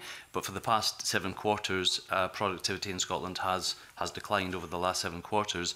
I just wondered if any of the members had a view on why productivity in Scotland is falling. Can I, can I come in on that one? Um, so productivity has stalled in the whole of the UK, um, including in Scotland. It's interesting that you raise innovation and productivity together. Um, there's a bit of a myth about the relationship between innovation and productivity, which is unfortunately has been rather perpetuated by the government's industrial strategy, um, uh, both its green paper and its white paper, which focus quite correctly on the productivity problem, and then focus almost the policy attention on our frontier innovation firms which don't have a productivity problem. If you look at the firms that are at the leading edge of innovation in aerospace, in in fintech, in pharma, uh, in motor manufacturing, they have very high productivity and it's been growing about 6% per year. The productivity problem lies in the rest of the economy, what we've in the IPPR Commission on Economic Justice have called the everyday economy, where the vast majority of people work in retail, in, wholes in wholesale, in hospitality, uh, in food and drink and light manufacturing. And that's where our productivity problem lies. And the problem for them isn't that they need to be at the frontier of technological innovation. Those companies don't, that's not what they do. They need to adopt innovation. So they need to be at, on, um, at the end of innovation that is the diffusion of innovations throughout the economy. But that's a very, very different from what the high-tech sectors do. Most of the high-tech sectors are not about innova in, in diffusing innovation in the rest of the economy. So I think innovation is really important because innovation keeps you at the frontier of, uh, uh, of of technology, which is obviously very important. It also keeps you at the frontier of exports, which is critical. It's the innovating firms that tend to be the exporters. But if we want to deal with productivity, And we do want to deal with productivity because productivity is one of the sources of low and stagnant wages. Then we need to look at the rest of the economy, which is actually where the majority of people work and certainly the pe where people with stagnant earnings work. Um, and that's where we, um, uh, it, it, we have to look at the labour market. So this then bears on, on, I think, a key question in Scotland, but also in the rest of the UK, which is the structure of our labour market. Because our labour market has become so flexible, in which it's literally now possible to employ people by the hour or by the piece rate, which is how a lot of gig economy, uh, is, the gig economy is organized. Companies have very little investment, uh, incentive now to invest in the technologies, in the equipment, in the machinery, in the capital, or indeed in the training and, of their own workforce, which is actually where productivity comes from. Investment in, in both in physical and in human capital is where productivity improvements come from. But if you don't, if you can increase output by a little bit simply by employing a worker for an extra hour with no responsibilities to them, so no other cost, that's what you'll do. And that's what we've seen. So we've seen a huge growth of a very, very flexible, uh, casualized labor force. And that has helped repress productivity because productivity is about investment. Um, and it does seem to me that we've now reached the point where the great advantages that we wanted of a flexible labour market, which was more jobs, he's now working against the kind of economy we need. Those of us who were around with mass unemployment should never want to go back to mass unemployment. Getting more people into work, record high employment levels is a good, no question about that. But we have got record high employment and record high insecurity of employment, and that insecurity of employment helps low productivity, as I said, but it also makes people not spend because they're insecure, they don't know where the next pay packet's coming from, they have no savings, and so on. So we do need to look at the structure of the labour market, I think, to get to the productivity problem. Can I just add a couple of points to that? First of all, the, the, the Scottish pattern of productivity has been very different from the UK pattern in recent years. Um, so Scotland productivity improved substantially up till about the last seven quarters when it de declined um, quite sharply, but it had been doing particularly well, catching up with the UK average. Neither of those trends is particularly well understood. It's probably got, um, I, I wouldn't put an awful lot of faith into the productivity figures. And again, there's been very little interpretation of it, um, but it, it's it's it's not necessarily a good thing that when productivity is rising because it could be um, for factors that are not not really uh, improving productivity, innovativeness in the long run. But again, it's something that needs to be um, to be looked at in more detail. Um, the, the figures that are out there. But in terms of the what Michael was talking about there, I think the Nick Crafts did some work back in 2013 for the David Hume Institute, and um, one of his worries was the lack of diffusion and the low share of innovation active businesses in Scotland, even relative to the UK, where it's not seen as particularly good in the first place. So I think that is a, an area, again, it's difficult one to do, and I think, again, Richard Harris might have looked at this in some of his work. But given that there's precious little work in this area uh, for Scotland, you know, we might as well use what has been done. Uh, thanks very much. If I may just finish up with a question on, on the labour market, because I think, uh, Michael J Jacobs, you mentioned a, a, number of interesting points. And previous uh, economies, we saw a jobless recovery because of automation. Whereas we're almost seeing the opposite here. We're seeing high levels uh, of uh, employment, but that's not feeding through to economic growth because a lot of the new jobs being created are, are low value and they don't, they don't have the same multiplier impact on the economy. Now, we all want to see higher value jobs being created. Is there, and we operate in a global economy now, is there a country out there that has a policy framework where this actually um, is creating uh, higher productivity, higher value jobs? Um, well, uh, so within Europe, um, Japan, uh, within Europe, Japan, within Europe, Germany, I'll come on to Japan later if we need to. Japan's a very interesting case. Um, Germany has a, um, a as I said, a, a, very different kind of labour market. Sweden um, also rather similar. So the, the structure of the labour market in Uh, it has two features which I think we've both of which we've moved away from in the UK in in these two countries and some of the other Scandinavian countries the first is quite a lot of labor market regulation so there are which is um uh, which is largely about requiring employers to have minimum standards for um uh, wages uh, but particularly for how you pay things like overtime um, benefits and so on combined with relatively high levels of trade union um, uh, trade unionism, trade union density, not throughout the German economy, but in, in parts of it, certainly higher in Sweden, which gives workers a kind of bargaining power within the labour market. So one of the fragment, one of the things that's happened in a more fragmented labour market is individual workers uh, find it very difficult to bargain their wages up because they are not doing it collectively. They're doing it. They're not even doing it now as part of um, a common workforce. They're not part of the common workforce, they're self-employed. And so, and that bargaining power is uh, inevitably a way of the lack of bargaining power is a way of keeping wages wages down coupled with a lack of regulation in the UK system which means that you can pay more or less any you can have more or less any structure of wage rates of overtime and of hours and so on um, and so both of those two economies which have maintained relatively high employment we have higher employment so you know part of the flexibility has been higher rates of employment um, has been those two different features And I think we need a rebalancing on our labour market. I think we need to move back to some more regulation. So there are, there are basic things that you have to do as an employer with stronger trade union densities to help bargain wages upwards. Um, and you know the, the, the historical shift, which is true in the UK, is true elsewhere, which is that the labour share of national income has been in decline, very significant decline. So that is of total national income, more has been going into profits, and the owners of capital have received more of it, and less has been going into wages and salaries. That is partly because workers uh, can't bargain their, their share of it upwards. And so I do think this is a, uh, an important part of what we need to think about now. Just to come back on that uh, point, um, I wouldn't necessarily say low value, I'd probably say low pay jobs. Um, we did that, again, Oxfam did a sort of consultation with uh, 1,500 people that were in low paid work, and we called it decent work. And also, decent work is also one of the SDGs, Goal um, 8. So it is incumbent on all countries to provide and help uh, to create decent jobs.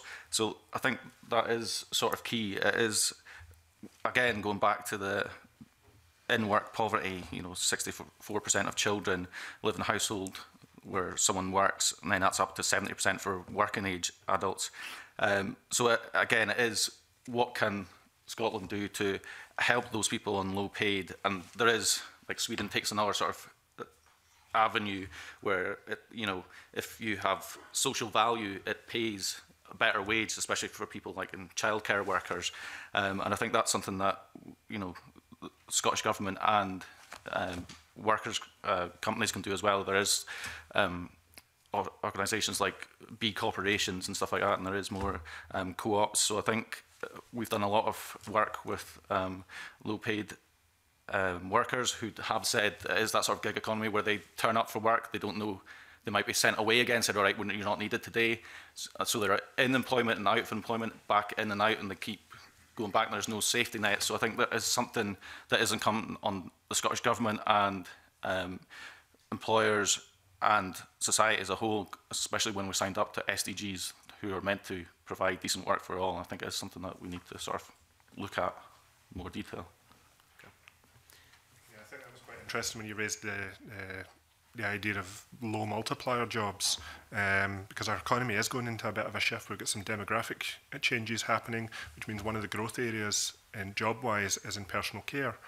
Now, personal care is one of these sectors that maybe measures like productivity may not be appropriate. Increasing productivity, done, if it's done badly in personal care, could mean seeing more clients in a single shift, which means cutting visit times from half an hour to 15 minutes to 10 minutes. Increases your productivity, but may not give you a better service. So that's maybe another example of where just be careful what you're measuring where. Thank you. Um, I'll come on now to a question from Gillian Martin, and I think Tom Arthur uh, as well had perhaps a brief yeah. follow-up to what was being discussed, but Gillian Martin first. Thank you. I'd like to look at the future, and there's one thing I'd like to step and ask for your opinion on. So we've had a lot of discussions around inclusive growth, but we've also had a lot of uh, discussions already about what poverty can do to the success of a country and what impact that can have. I would like to know your views on the idea of a universal basic income and how that might have an impact on stimulating an economy, improving the the well-being, welfare happiness, I suppose, of a country and some of the things that Michael Jacobs has been talking about, the, the, the kind of uh, a different measure of, of a country's success economically. I might have to sort of plead the fifth on this. Um, Oxfam, obviously, where sort of all of our um, analysis is about um, evidence based, so we're still at an early stage for this, and we haven't taken uh, an over overt view on this, but um, I think something that we have called for is the Poverty and Inequality Commission, and I think they're tasked with sort of looking at how that will maybe operated in Scotland. So we're all for sort of pilot areas and seeing what evidence comes from that, and if the evidence leads that this is a good way of reducing uh, poverty and inequality, then we would be supporting that. But I think it's a sort of holding answer at the minute to see where it, what type of pilot operation's going to happen in Scotland and then the evidence from that and then we'll take our view on that. I think I'm going to have to sort of say, plead the fifth a bit. Okay. Um, well, the, the universal basic income is, is a policy that Commonweal actively adv advocates. We recently published a paper looking at reforming social security and, and that played a key part in it. Um, so, so from the evidence that we have seen, we do see a lot of potential uh, for it to, to greatly um, um, reduce poverty and reduce people falling through the, the cracks in means-tested systems, uh, avoid, you know, uh, avoid losing out on claims that they're due because they don't know how to apply or avoid being sanctioned for, for, for things that they are claiming through various reasons. Um, universal basic income is a broad uh, area. There are very many different models of how, how much you give uh, as a basic income. So it's difficult to say in general what the actual impact would be. Um, and certainly you, you also want to couple it with, with other policies um, like maybe better social housing so that the, the uh, the basic income doesn't get eaten up by private rent or, or, or other factors. So we're very much in favour of it. We're very excited to see the pilot schemes go ahead and, and get the data from them. Um, and yeah, we're, we're, we're interested to keep following it do you have a view on how it might stimulate an economy? There's been quite a lot of, mm. you know, obviously Finland has been trialling it, and what they've found from some of the people who've been involved in that is that they've actually uh, earned money on top of it. It's, it's, it's allowed them to not be kept from labour market yeah. because they're worried about losing any kind of benefits. It's actually yeah, there's a couple of strands to how it can improve the economy. Uh, on, on, on one, you know, the, the marginal propensity to spend is um, that people who don't have a lot of money, if you give them a little extra, they tend to spend it rather than saving it. Um, so that tends to stimulate uh, demand in the economy. The other strand is people who have enough money to meet their basic needs. They live happier, healthier lives. They're not such a, uh, a, a cost on the healthcare system, uh, for instance. Um, eh, they, can, they can be more productive in their work um, and and that can uh, can can can boost the supply side of the economy as well. Um, I think it's really interesting that there are some now experiments in basic income because we've been talking for 25, 30 years about it in theory, and it's much better to have some evidence. So it'll be very interesting to see what the pilots um, uh, prove. Um, So the first thing to say is it, it really does depend how much money people are getting. If you want to take people out of poverty uh, on an income basis, they need more money. So a, a universal basic income, which provided an, an inadequate sum of money, doesn't do the fundamental thing that you want to do with regard to poverty. And obviously, the more money that is provided in it, the more, the bigger the, the whole system has to be because there's going to be e-, much more money going through the public sector and then back out again to individuals and has to be taxed and spent. So one of the, it seems to me that the, in a way the balance of the argument here is what's the impact on work incentives and the marginal rate of taxation for people who would otherwise be on benefits? So the real problem we have in any welfare system is that, is that the marginal tax uh, rate for people on benefit is ridiculously high. I mean, of a rate that none of us would accept with our taxes. People have withdrawal rates from benefits of 70, 80, 90%. And that's what a basic income in principle does away with because everybody will get the money and you can earn Um, so that's its huge advantage. And I do, um, my, my, uh, without having yet got the evidence, my assumption is that that much improves the situation for people who would otherwise be on a means-tested benefit or would benefit. They are more likely to work and to find security of income and so on.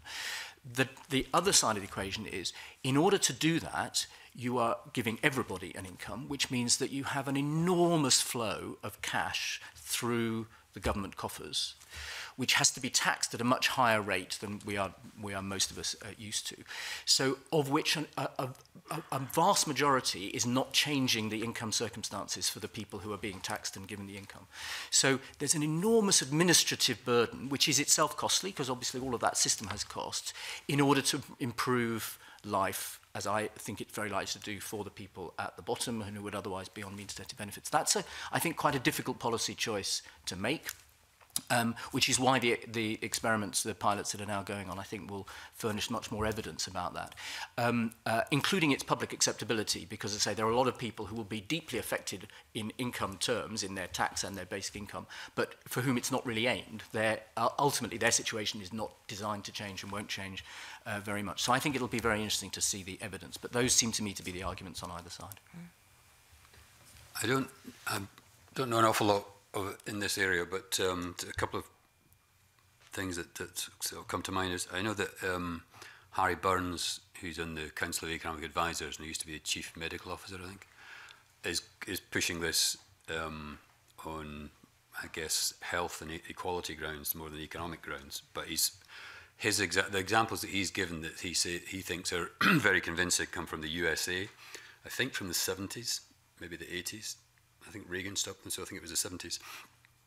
now, that's a long time ago and far, far away in terms of geography, but it would be interesting to compare um, the results from that to what's happening in Finland because they're very different societies, um, very different levels of inequality. So you wouldn't have thought that the same policy would have the same impact in those two different countries, but it'll be interesting to see how much the commonality there is. Um, and if they are if they are different then and you're moving to more to a Finland or, or sort of Scandinavian type style, then you, you probably would need to move away to a, from a more liberal market economy to a more coordinated economy and higher taxes. Uh, otherwise, you'd be competing perhaps with education spend and health spend. So it, it does become it's certainly an area that's that's worth exploring but I think it's quite tentative at this area, and, and the Scottish government's doing the right thing by look, you know, doing pilot studies, um, because it may be that there's quite a lot of social norms within a country that affect how, how well it works. A couple of other policy areas based on improving uh, productivity, I suppose, in the, in the future.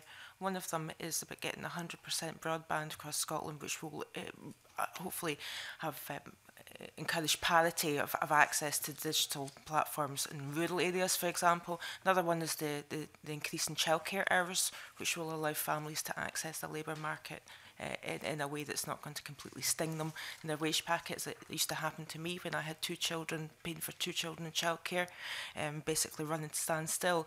How do you see them uh, um, impacting potentially in the future in terms of the, the, the productivity of, of Scotland's population? Um, well, in, in the 21st century, I think access to the internet at a reasonable uh, rate is, is uh, verging on being a basic human right. Um, so it, it's pretty essential that we get this get this rolled out as quickly as we can. Um, and, and yes, uh, there's I, I've heard from a lot of uh, a lot of people in rural areas, for, from a rural area myself, um, who where, where businesses have, have said that they, they, they, they could invest and expand more if they could get more better access to be, better internet. Similarly on the on, on the childcare, um, although to tie back into your universal basic income from some of the pilot studies that were seen in that, one of the one of the the, the areas where you saw people dropping out of the labour market because of universal basic income were parents who wanted to spend more time with their children, um, which is maybe not a bad thing in itself.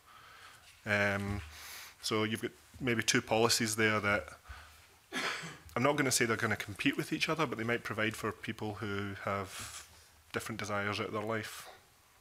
Maybe both positive, depending who you are. Any other thoughts on that? Uh, What, one final question. It's uh, qu yeah. Quick point on the, I don't know much about broadband, but in, in terms of the childcare, I think that's an important area, but I would, I would say it's more important to look at it in terms of early years investment in childcare.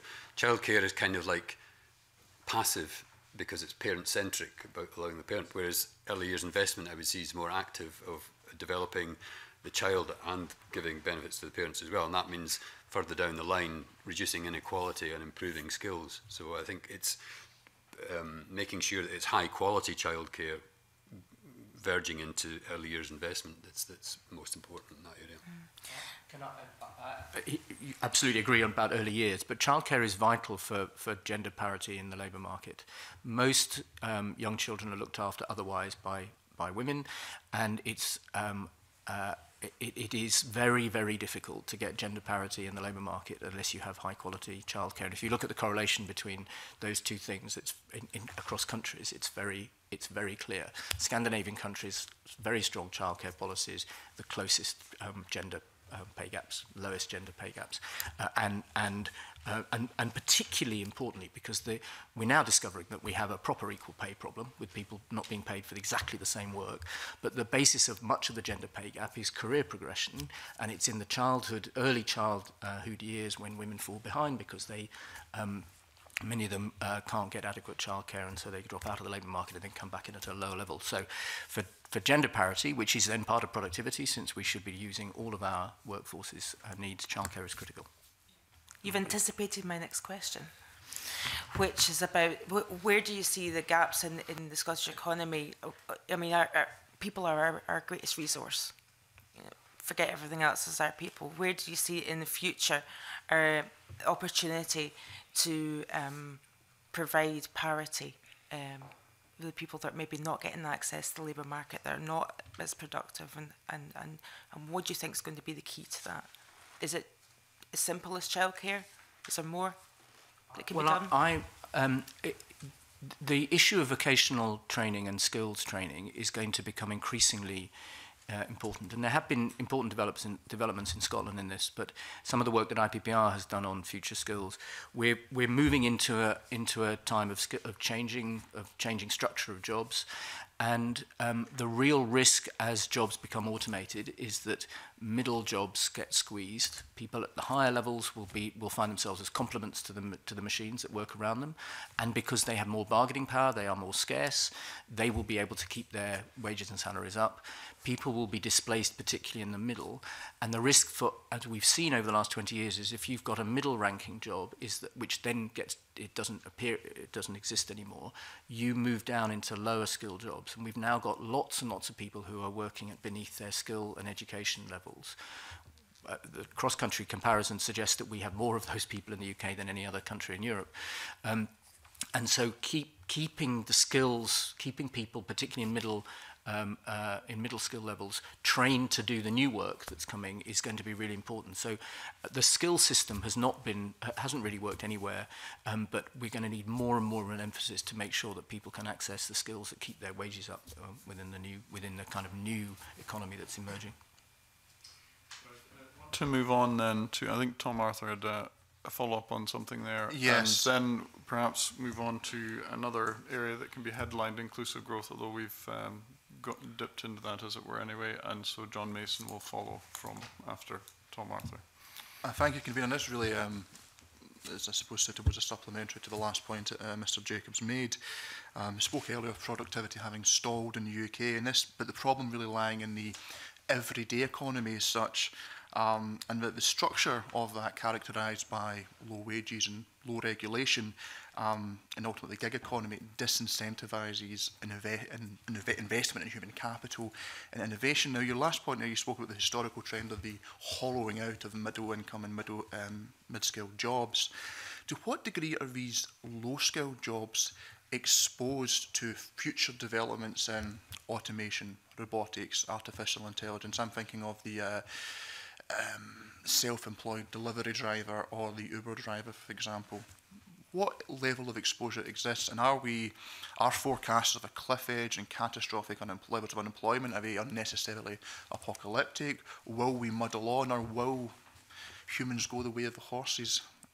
as one, as one expression was given um, so it, j let me just take that first, and then I'm sure colleagues will want to, to, to, to come in. So uh, the IPPR have just published, in fact, a report on automation. Um, uh, and we, um, we've done some analysis of the um, uh, the differential impact on different sectors and then different parts of the UK um, according to how how those sectors are mapped geographically. Um, and uh, there is a, uh, a differential impact. Basically, areas where there are more low-skilled jobs are more vulnerable. So Scotland has an interestingly mixed economy because Scotland has a lot of high-skilled jobs as well, which are by and large less vulnerable. Nobody is invulnerable. Um, and uh, and so uh, uh, and and so there is there it, it really needs to be looked at by sector.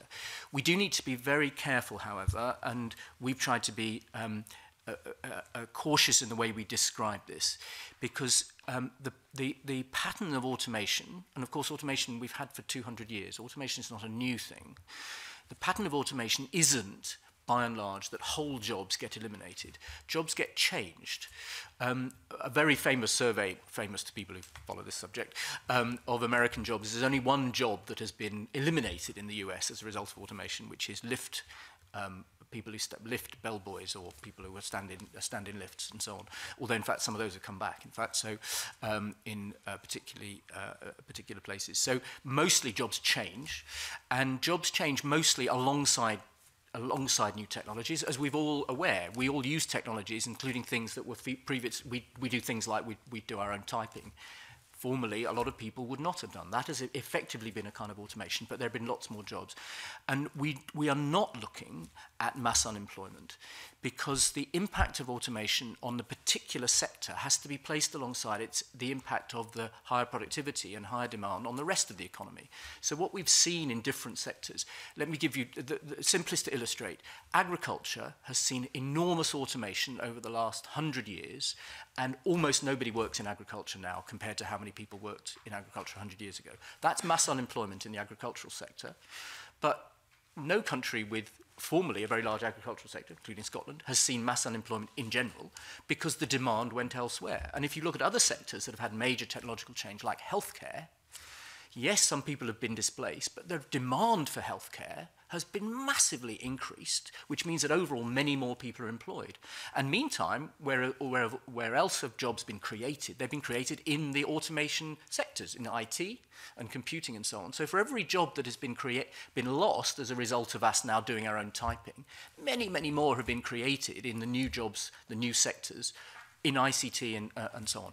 So the overall impact is quite likely to be neutral or positive, depending on how the monies are circulated.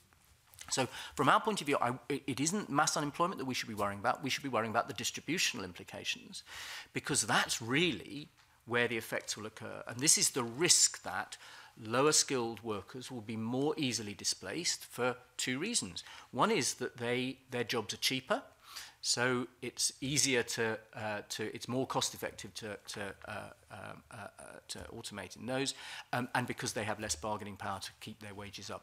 So it's the distributional effects that we need most to worry about with regard to automation, which means we need to manage that process. And I think skill levels is going to be critical to that, as what I said in my uh, my previous answer. So um, we absolutely need to be on top of this. The other thing to say is that this will happen relatively slowly. Um, technically speaking, lots of jobs are automatable tomorrow. It'll happen slowly because every job that's automated is a decision on the cost of capital versus the cost of labor, on policy and, and, and profitability and so on. So the fact that something is technically autom automatable does not mean that we're about to see it automated. Yeah, um, it's interesting you brought up the horses. Um, yeah, the invention of the automobile was fairly terrible for the horse industry, for the horse wrangler industry. Great for car mechanics.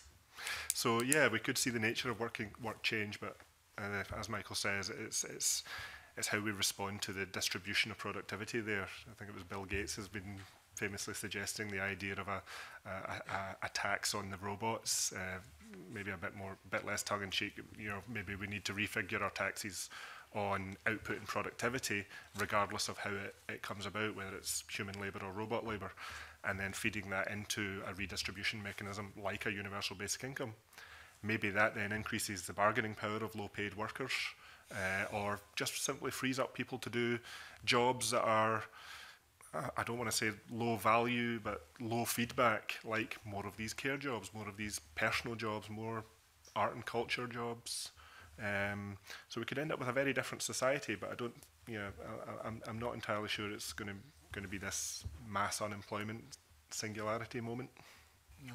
It, it, strikes me because people talk about you know, a fourth industrial revolution. It does seem to be something qualitatively different about this and, and perhaps previous, be that in the 18th or late 19th century, fundamentally about machines with the capacity to think, potentially by the end of this century, machines that are conscious that can learn quicker than a human being can, can process information. And if you apply that to big data and big data analytics, it's transformative in a way perhaps it's, it's difficult to imagine. Now, I appreciate there's other people actually say the, the inventions which have been most transformative are things as simple as a washing machine and a dishwasher.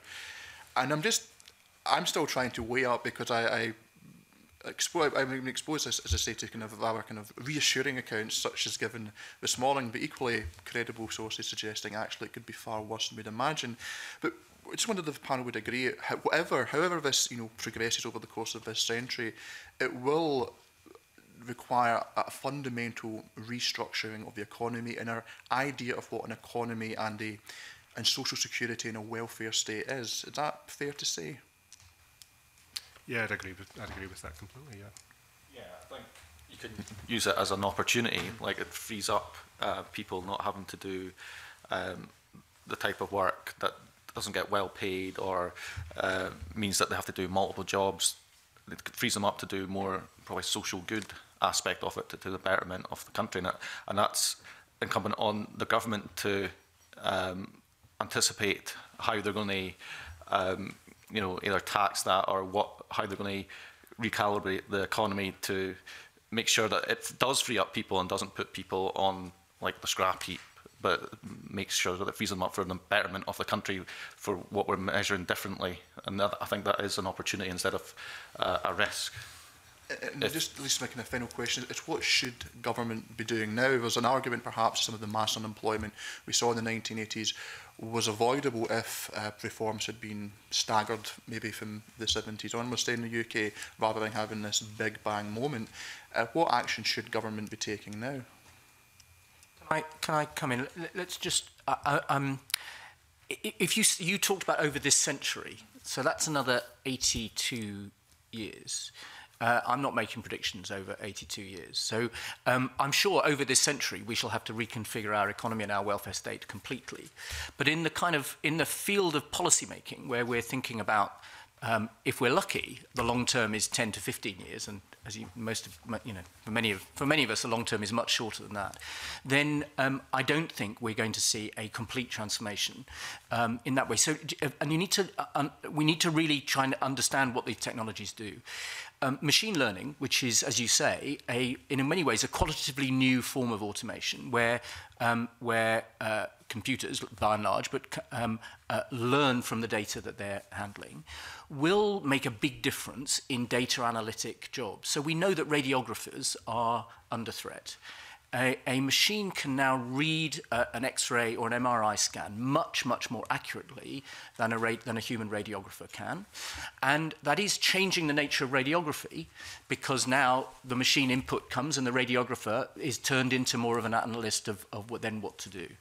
Um, but these are still computers. They're, they are not robots. So robots have only just learned to catch a ball the physical dexterity of robots is still really, really small. So they can spray paint cars, but there are most human actions robots can't do.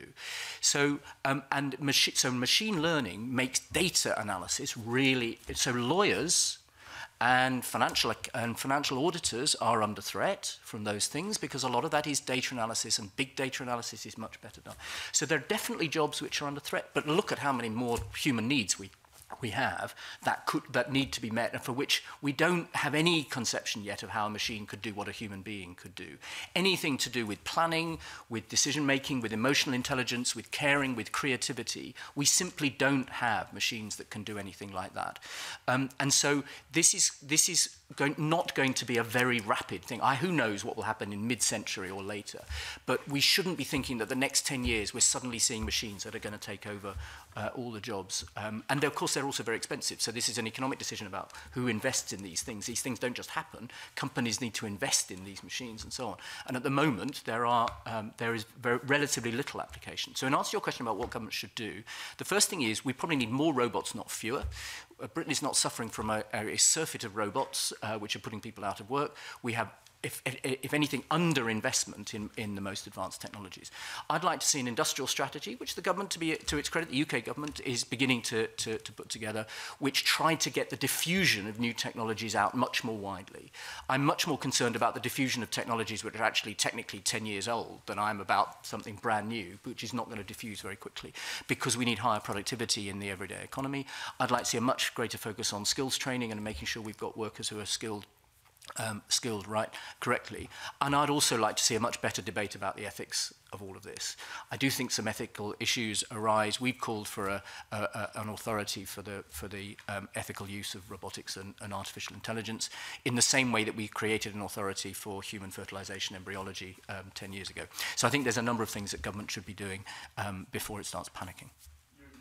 suggesting that uh, lawyers uh, are not creative and have no emotions. Uh, uh, uh would you be a lawyer, Chair? we'll leave that as a rhetorical question, if uh, I, I, might, and turn to John Mason now to move on to slightly different subjects. Th thanks, Convener. I mean, one of our, our main themes, I think the reason we have you folk here as a panel is, is to look at the area of inclusive growth, and that, that term has been used eh, already, and I'd like to, well, first of all, find out what it means.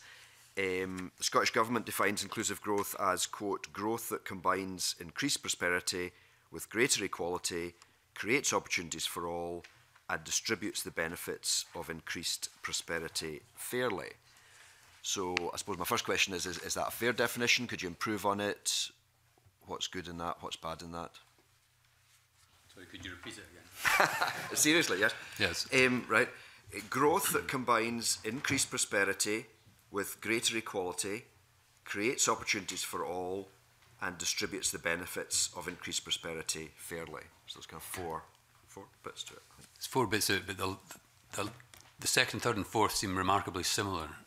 Um, you could take, you could interpret them different ways, but I think that's part of the problem with in this area.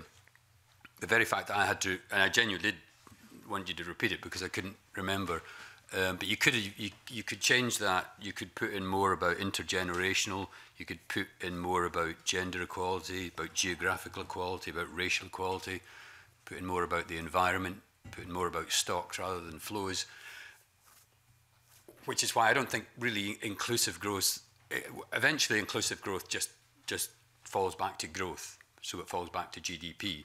That's in most countries what still what still happens. There can be a bit more of a push for greater equality and looking at different measures. but most countries are still fairly, especially politically, fairly obsessed with, with GDP. And I think it's... So you don't like inclusive growth. Have you got another term we could use that's better?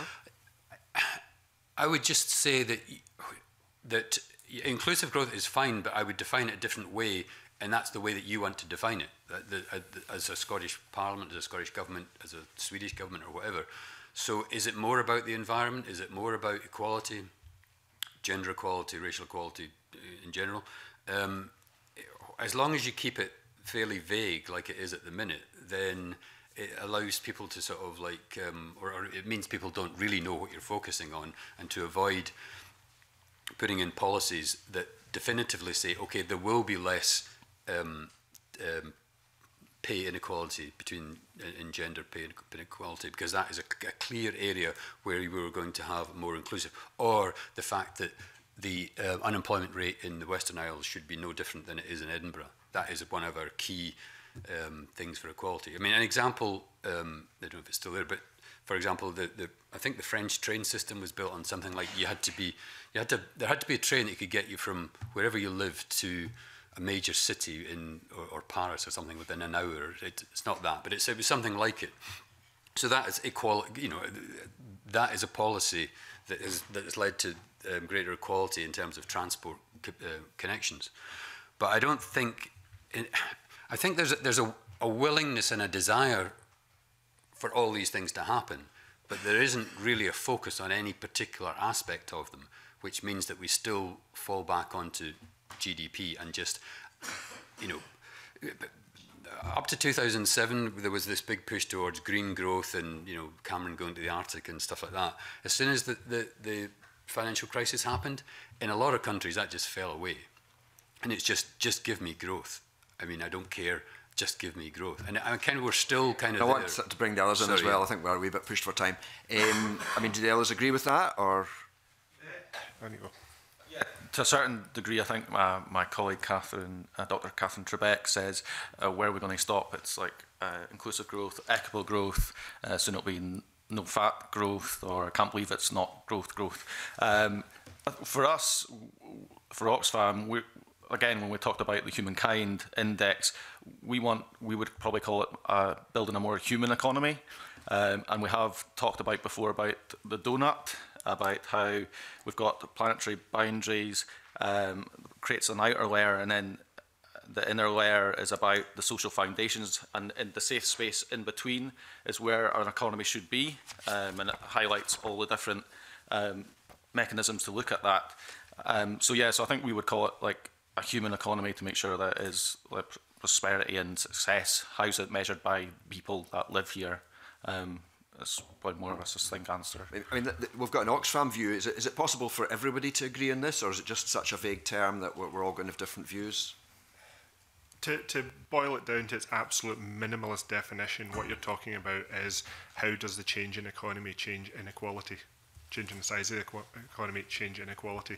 But as John says, what does inequality mean? What does growth mean? Are you chasing only growth, or are you accepting that you know it could be possible that a um, a, a, a technical recession was due to a massive amount of wealth redistrib redistribution. So you've, you've increased, you, you've decreased inequality at the cost of the size of your economy, or, or maybe you've you, you've brought in a bunch of imports which have boosted your size of your economy, but you've hollowed out your manufacturing base because of the substitution effects. So, yeah, to give a very broad um, uh, term here, it, uh, it's is that it, when you get into the detail of it, it can be very, very difficult to measure because you, you, you do need to start defining. I mean, you're depressing me here. This is quite pessimistic. let me, let me. I don't know whether I'm going to depress you less. I, I think it's a useful term, and I think um, inevitably we need a term that people can then grasp and it takes a while till a term becomes commonly used this is now the term that the OECD is using which means that it has a an international currency so um I personally rather like it but I think it's really important that it that it's that we understand why it's different from from what we might have had in the past and it seems to me that the critical difference that is meant by the term inclusive growth is that the distributional outcomes are embedded in the productive production system and are not the a consequence of post hoc redistribution. And that seems to me to be the really important distinction. So, if you like, there are three ways of considering the distributional outcomes uh, from an economy. There is trickle down, which assumes that it, the more growth you get, and in fact, the more growth that, that accrues to the people at the top, the more that you will get some trickle down and people at the bottom will get it. So that's one conceptual framework. Another one is redistribution, which is that we will allow the economy to grow and we will recognize that it will be unequal, but we will then redistribute through the tax and welfare system in order to make sure people at the bottom get some of the, the, the, the, the fruits. Inclusive growth is a third model, which says that we want the productive system to distribute fairly and more equally, more equally, to the people in the middle and the bottom half of the income distribution in the economy, not as a post-hoc redistribution or as a hope-for trickle-down, which, in, as we know, hasn't happened. And so how would you do that? So that seems to me to be why it's useful to have a distinctive term, because I think this is a different thing from both the trickle-down and the redistributive models. Um, Jacob Hacker, the American political economist, called this pre-distribution. I don't know whether that... It's the same basic idea, which is that you need to have that distribution embedded in in earnings. And, and so, so, can I press you on that? I mean, does that mean that the, the, the wages, therefore, have to be closer together? Because then if wages are closer together, you don't need to Yes. So you need to have um, a, a, a much lower differential between higher, higher wages, higher salaries, in, um, uh, executive earnings, middle salaries, and the bottom. And you need to do that through a, a combination of um, partly taxation policies, but also labour market uh, policies the, and the bargaining power, as I've said before, of, uh, of people at lower, uh, of lower incomes and of the ways in which wages are structured. So it, is a, it seems to me that is a different model. Then I'd add one other thing, which is that's the flow of income. Then there's a stock of wealth which is the ownership in the economy, needs to be more fairly distributed. What we have as a result of this declining labour share and increasing capital share is a widening wealth inequality, and wealth inequality is much worse than income inequality. It's 10 times the level of income inequality is wealth inequality. And most assets are now owned by a relatively small proportion of the population. We need to distribute the assets better. So there's a wealth component to an inclusive growth model as well, which is, I think, partly about uh, ownership of, of housing and land and partly about ownership of shares and companies. And we would like to see a much wider distribution of the share of share ownership and of land and housing ownership in order to get the stocks of the economy more fairly shared as well as the flows of income. Okay, well, thanks very much. I'd love to ask thank, more. But thank you. I think I think we're running out of time here, so I'd like to come on to a question from Colin Beattie and then to a question from Jamie Halcor Johnson. Thank you, Peter. Um, we've had evidence previously that the Scottish labour market has changed substantially over the last uh, 10 years. Broadly, have these changes been positive?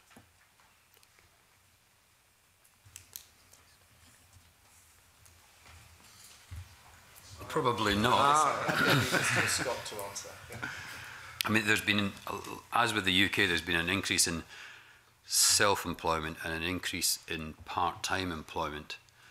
Um, interestingly, going back to a point that Tom Arthur made before, um, there was a paper out this last week by the Resolution Foundation talking about this hollowing out of jobs, and it's saying it's not really been hauling out of, of mid-level jobs, it's been a, a reduction in male hours drop um, in, in male hours, moving from full time to reduced hours or part time, and that's usually involuntary. Involuntary, um, so that's probably not a good thing. Having said that, given the condition of the world economy, then it's it's worse than it was, but it's it's it's better than you would have expected in 2009 when such a severe recession was going on. So the degree to which um, the, the labour market has been um, elastic and has, has moved around has, has improved the number of jobs versus what would have happened in the past. But whether that's um, where you want to stay, you may um, with num- with the sort of less um, job security and, and uh, perhaps lower income, uh, then it's difficult. Mm, yeah, it's difficult to say. Just to come on something you you said there, you talked about the reduction in male hours. Has that been balanced at all by an increase in female working hours? My recollection, I haven't looked at this for a while, but my recollection is yes, it has. I think the overall number of hours worked in Scotland has increased. Um, so, and, and, and if you look at the, if you look at GDP per capita, it's not done that well. If you look at um, household income, it's done better because the um, more people are working, so the employment rate's gone up, so more uh, either more elderly people are working and more women are working, sort of thing. So there's been a there's been a shift in, in the pattern that has led to you know to the, to the average household income, um, but the degree to which that's been voluntary rather than involuntary. Some of it's voluntary, some of it's involuntary, um, and then where you want to go with that is is and where where the economy will allow you to go with that is, is difficult to guess.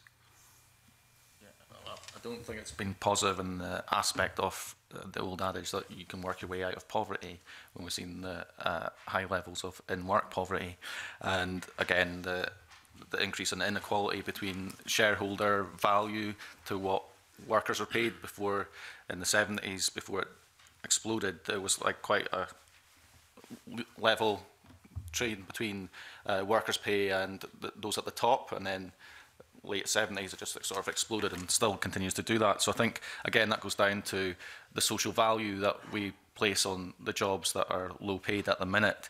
And there's issues about participating budgeting, I think, can help with that and uh, with when we talked about the sort of the human economy and pre-distribution, I think that was what the Christie Commission was talking about as well. Like 40% of local government spend went to rectify the problems of economic growth. So I think there's a lot more that we can do. So, um, but I think we sort of recognise that, like as I said before about uh, national performance framework, and that we're all signed up to the uh, SDGs, which does have inclusive growth in that, and it does have about creating decent jobs. So I think we as a society and a, a sort of global community uh, do recognize that we have to go on a different path because what's happened before has not benefited the whole of community.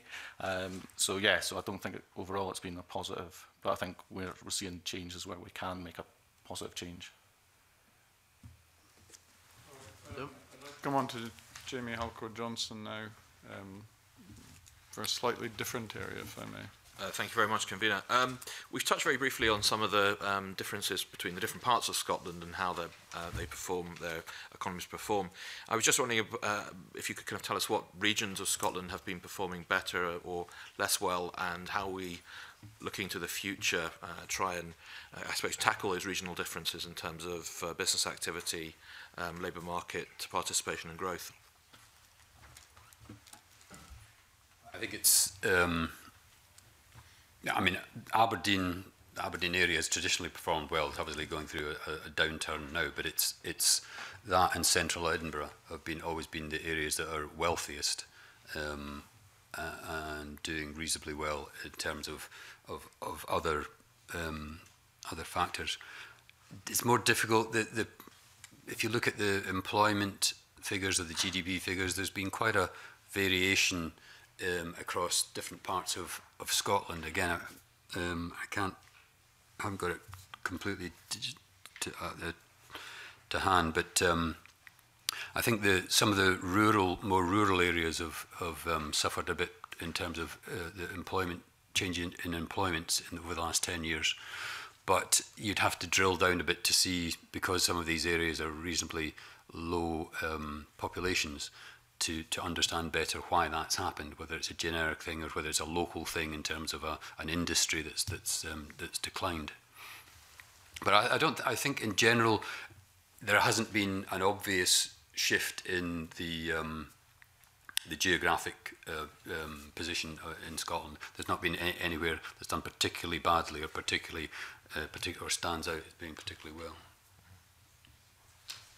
yeah, like John, I've only got sort of partial data on this and a few anecdotes. For example, you know, areas in the Highlands where there's been a community buyout and that has led to a, a boost to the, the economy in that particular area. Um, but it's difficult to sort of generalise that further. Um, I think we do hit a, a point where, you know, the, the the economic data for regions of the UK can be spotty in places. The economic uh, the economic data for regions within those regions, i.e. Scotland, can be e, can be even harder to drill into. Mm-hmm. It can be difficult to measure. Okay. Can I can I ask then? I mean, do you think the overall Scottish economy could benefit from more of a focus on perhaps uh, regional growth? I, I suppose for Oxfam, I, I don't think it's necessarily regional. It's about that community growth um, and I'm letting people decide for themselves what's best for them. Um, and like I say, it'll be anecdotal evidence about um, things like um, there's Beath um, Community Development Trust. Um, their council took the decision to close their football pitches. They did an analysis with the help of Oxfam that said that they were spending £40,000 on pitches outside their local area and decided this is crazy. Can we come together and work with the council to get the pitches again and they sort of took it over and that had knock-on benefits for the community but also they then they decided to have um, washing machines to do kits and stuff like that instead of them going to individual houses and stuff and that creates another economy about combating climate change as well so I think communities if you give them the chance they they have the answer so uh, maybe not as a, as a whole regional but I think there's a lot more we can do regionally um, in regions with communities themselves. And I think we just need to ask them. I think, like I say, one of the bittersweet moments for our humankind index when we asked people, one person came up to us and said, "Thank you for asking our views." And you know, we had people saying, "Oh, how do you reach um, these hard-to-reach people?" And for Oxfam, there's no one that's hard to reach. It's just easy um, to ignore. Um, so. I think that's what a lot of the more of the government and politicians there seems to be that sort of disconnect between people Um, and maybe that's, and politicians, maybe that's why you've seen the rise of um, Trump and in France, so there was a close run thing, and German politics as well. So I think, again, there's, there, there's a need to be, again, more human economy, more connected with people to say, you know, what makes for a better economy for yourselves. I think the, the, the difficulty was saying, would you prefer more regional growth? well, two things. One is um, versus what? Versus greater emphasis on agglomeration, where there some economists would say there's more prospect, prospect of a faster um, growing economy with, with larger agglomeration. So they've got that. But that's probably more of a societal preference. But the, the big one is how would you do it? I mean, you know, there just aren't that many ways uh, you could improve transport and stuff like that, but you can do those things that government does. But in terms of building up businesses, um, you know, the, the track record in clusters and, and, and industrial policy, uh, regional industrial policy, isn't good. Um, it's haphazard and it's, it's, there are successes, but it's difficult to say that is what you do and you get success. I think the successes are fairly um, random. Thank you. And Andy Whiteman. Uh, thanks very much, convener. Um, I just want to go back to a point Michael Jacobs made very at the very beginning. We've talked about GDP growth having been decoupled from earnings growth. Um, so my first question is, what's happened to that economic dividend? Where's it gone if it's not gone to earnings? And the second is that some of that GDP growth has been due almost, almost entirely to the growth in personal debt. Um, household consumption, rather, built on per personal debt. Much of that personal debt over the last decade has been due to rising housing costs. Should government, as a matter of policy, um, be seeking to reduce the housing costs for the population? Do you want me to have a go to start? So um, where's it gone? So the, the, de the decoupling is between GDP and average earnings. Um, and so some of that has gone into higher earnings. Um, uh, uh, and we know that there's been quite an increase in, in, in higher earnings. Some of it's gone into profits, so it's not gone to labor at all. It's part of the shift away from uh, from labour towards uh, capital. Um, um, uh, and, uh, and part of it's gone overseas. Um, so it's not gone to British, there's, we've had GDP growth, but it's gone to, to owners of GDP uh, who are not British. Um, so there's a whole variety of different uh, of different uh, uh, destinations, as it were, for, for the for the portion of growth that's not gone into average earnings. Um, in terms of um, uh, of uh, of housing costs, I think this is a this is a huge issue now. Um, average housing costs have now um, gone into a multiple of income, of average income, which um, makes housing unaffordable for many people, particularly in urban areas and particularly in in uh, in in the London and southeast, where it's it's it's become kind of crazily acute. I mean, to a point where um, people in their 30s who only 10 years ago would have expected to be able to earn enough to, to afford a deposit and a, and a mortgage can't do so and really have no prospect of doing so and are now waiting to earn, uh, own a home when their parents die, which of course may be in their 50s or 60s. And that is now, with, in London and the South East, that's become a kind of new norm for people who, whose incomes and whose class positions meant that they would have expected to have been in a completely different situation only 10 years ago. A lot of people obviously never expected, if they're on very low incomes, to have, to have um, owned a home. So I do think that this, is, uh, this has become critical. It's a very difficult issue to deal with. It is too glib to say we need to build more homes because ho however many homes we build, and of course we should be building more homes, um, the impact of that on average house prices is still relatively small House prices are determined by supply and demand for the whole housing stock, not just for the new housing stock. Um, but we do need to deal with it, and, and, and it seems to me to be an area of policy that much more thinking needs to go into. We will be trying to do some ourselves, um, but uh, uh, I, I, the, the problem now of the disparity between income and housing costs is, is, is absolutely acute. It's not universal, I mean, it's different in different places, obviously, as you know, but... Um, course, it's not just the uh, upfront cost of, of housing uh, and the, the, the rents that's, that's becoming a problem. It's the, it's the running costs of the house, heating and electricity costs um, are, are getting particularly um, acute. Fuel poverty is getting particularly acute. So um, when, when we're talking about building more houses, then we, we do need to make sure that they, they, they meet the absolute highest possible energy standards just to, to make them not just affordable to buy, but affordable to live in. I think um, Commonwealth's going to be doing doing more work in, in coming months on that. So hopefully we can come back and talk about that at a later date. Suppose if you want the political cover for it, um, like I say, I'm going to go back, keep banging on about the humankind index, but the top two in joint equal place was people wanted an affordable, decent, and safe home, and then a physical, a good physical and mental health. So that sort of shows you that NHS was always up at the top, but now for the people that we've spoke to, um, housing is, is equally as important now. So I think that shows you the value that people put on decent quality housing. And they look to their government as well to help.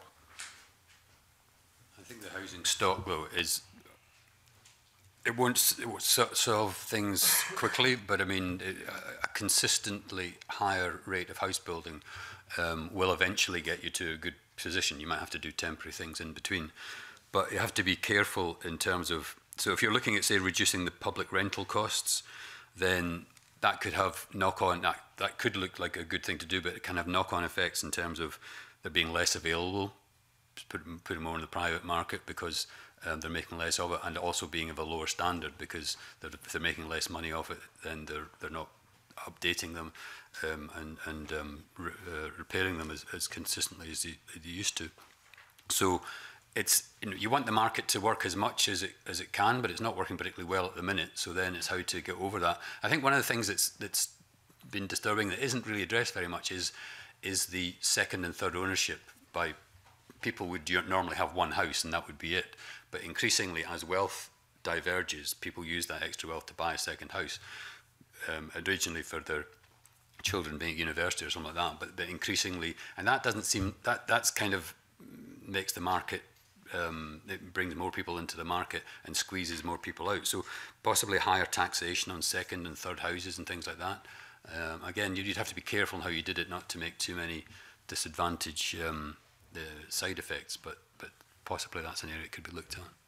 Getting back to your earlier point about the definition of inclusive growth, um, given that I think the Resolution Foundation produced a report a couple of months ago showing that for every successive generation since the 30s, the proportion of their income they're spending on housing has been rising and is now very, very significant for the so-called uh, millennials. Um, is that something we should hardwire in, as Michael Jacobs was suggesting, to our policy on economic, on, on, on, on um, inclusive growth, um, a metric around housing costs and a target for housing costs? Yeah, I mean, I think there are certain basic things. Um,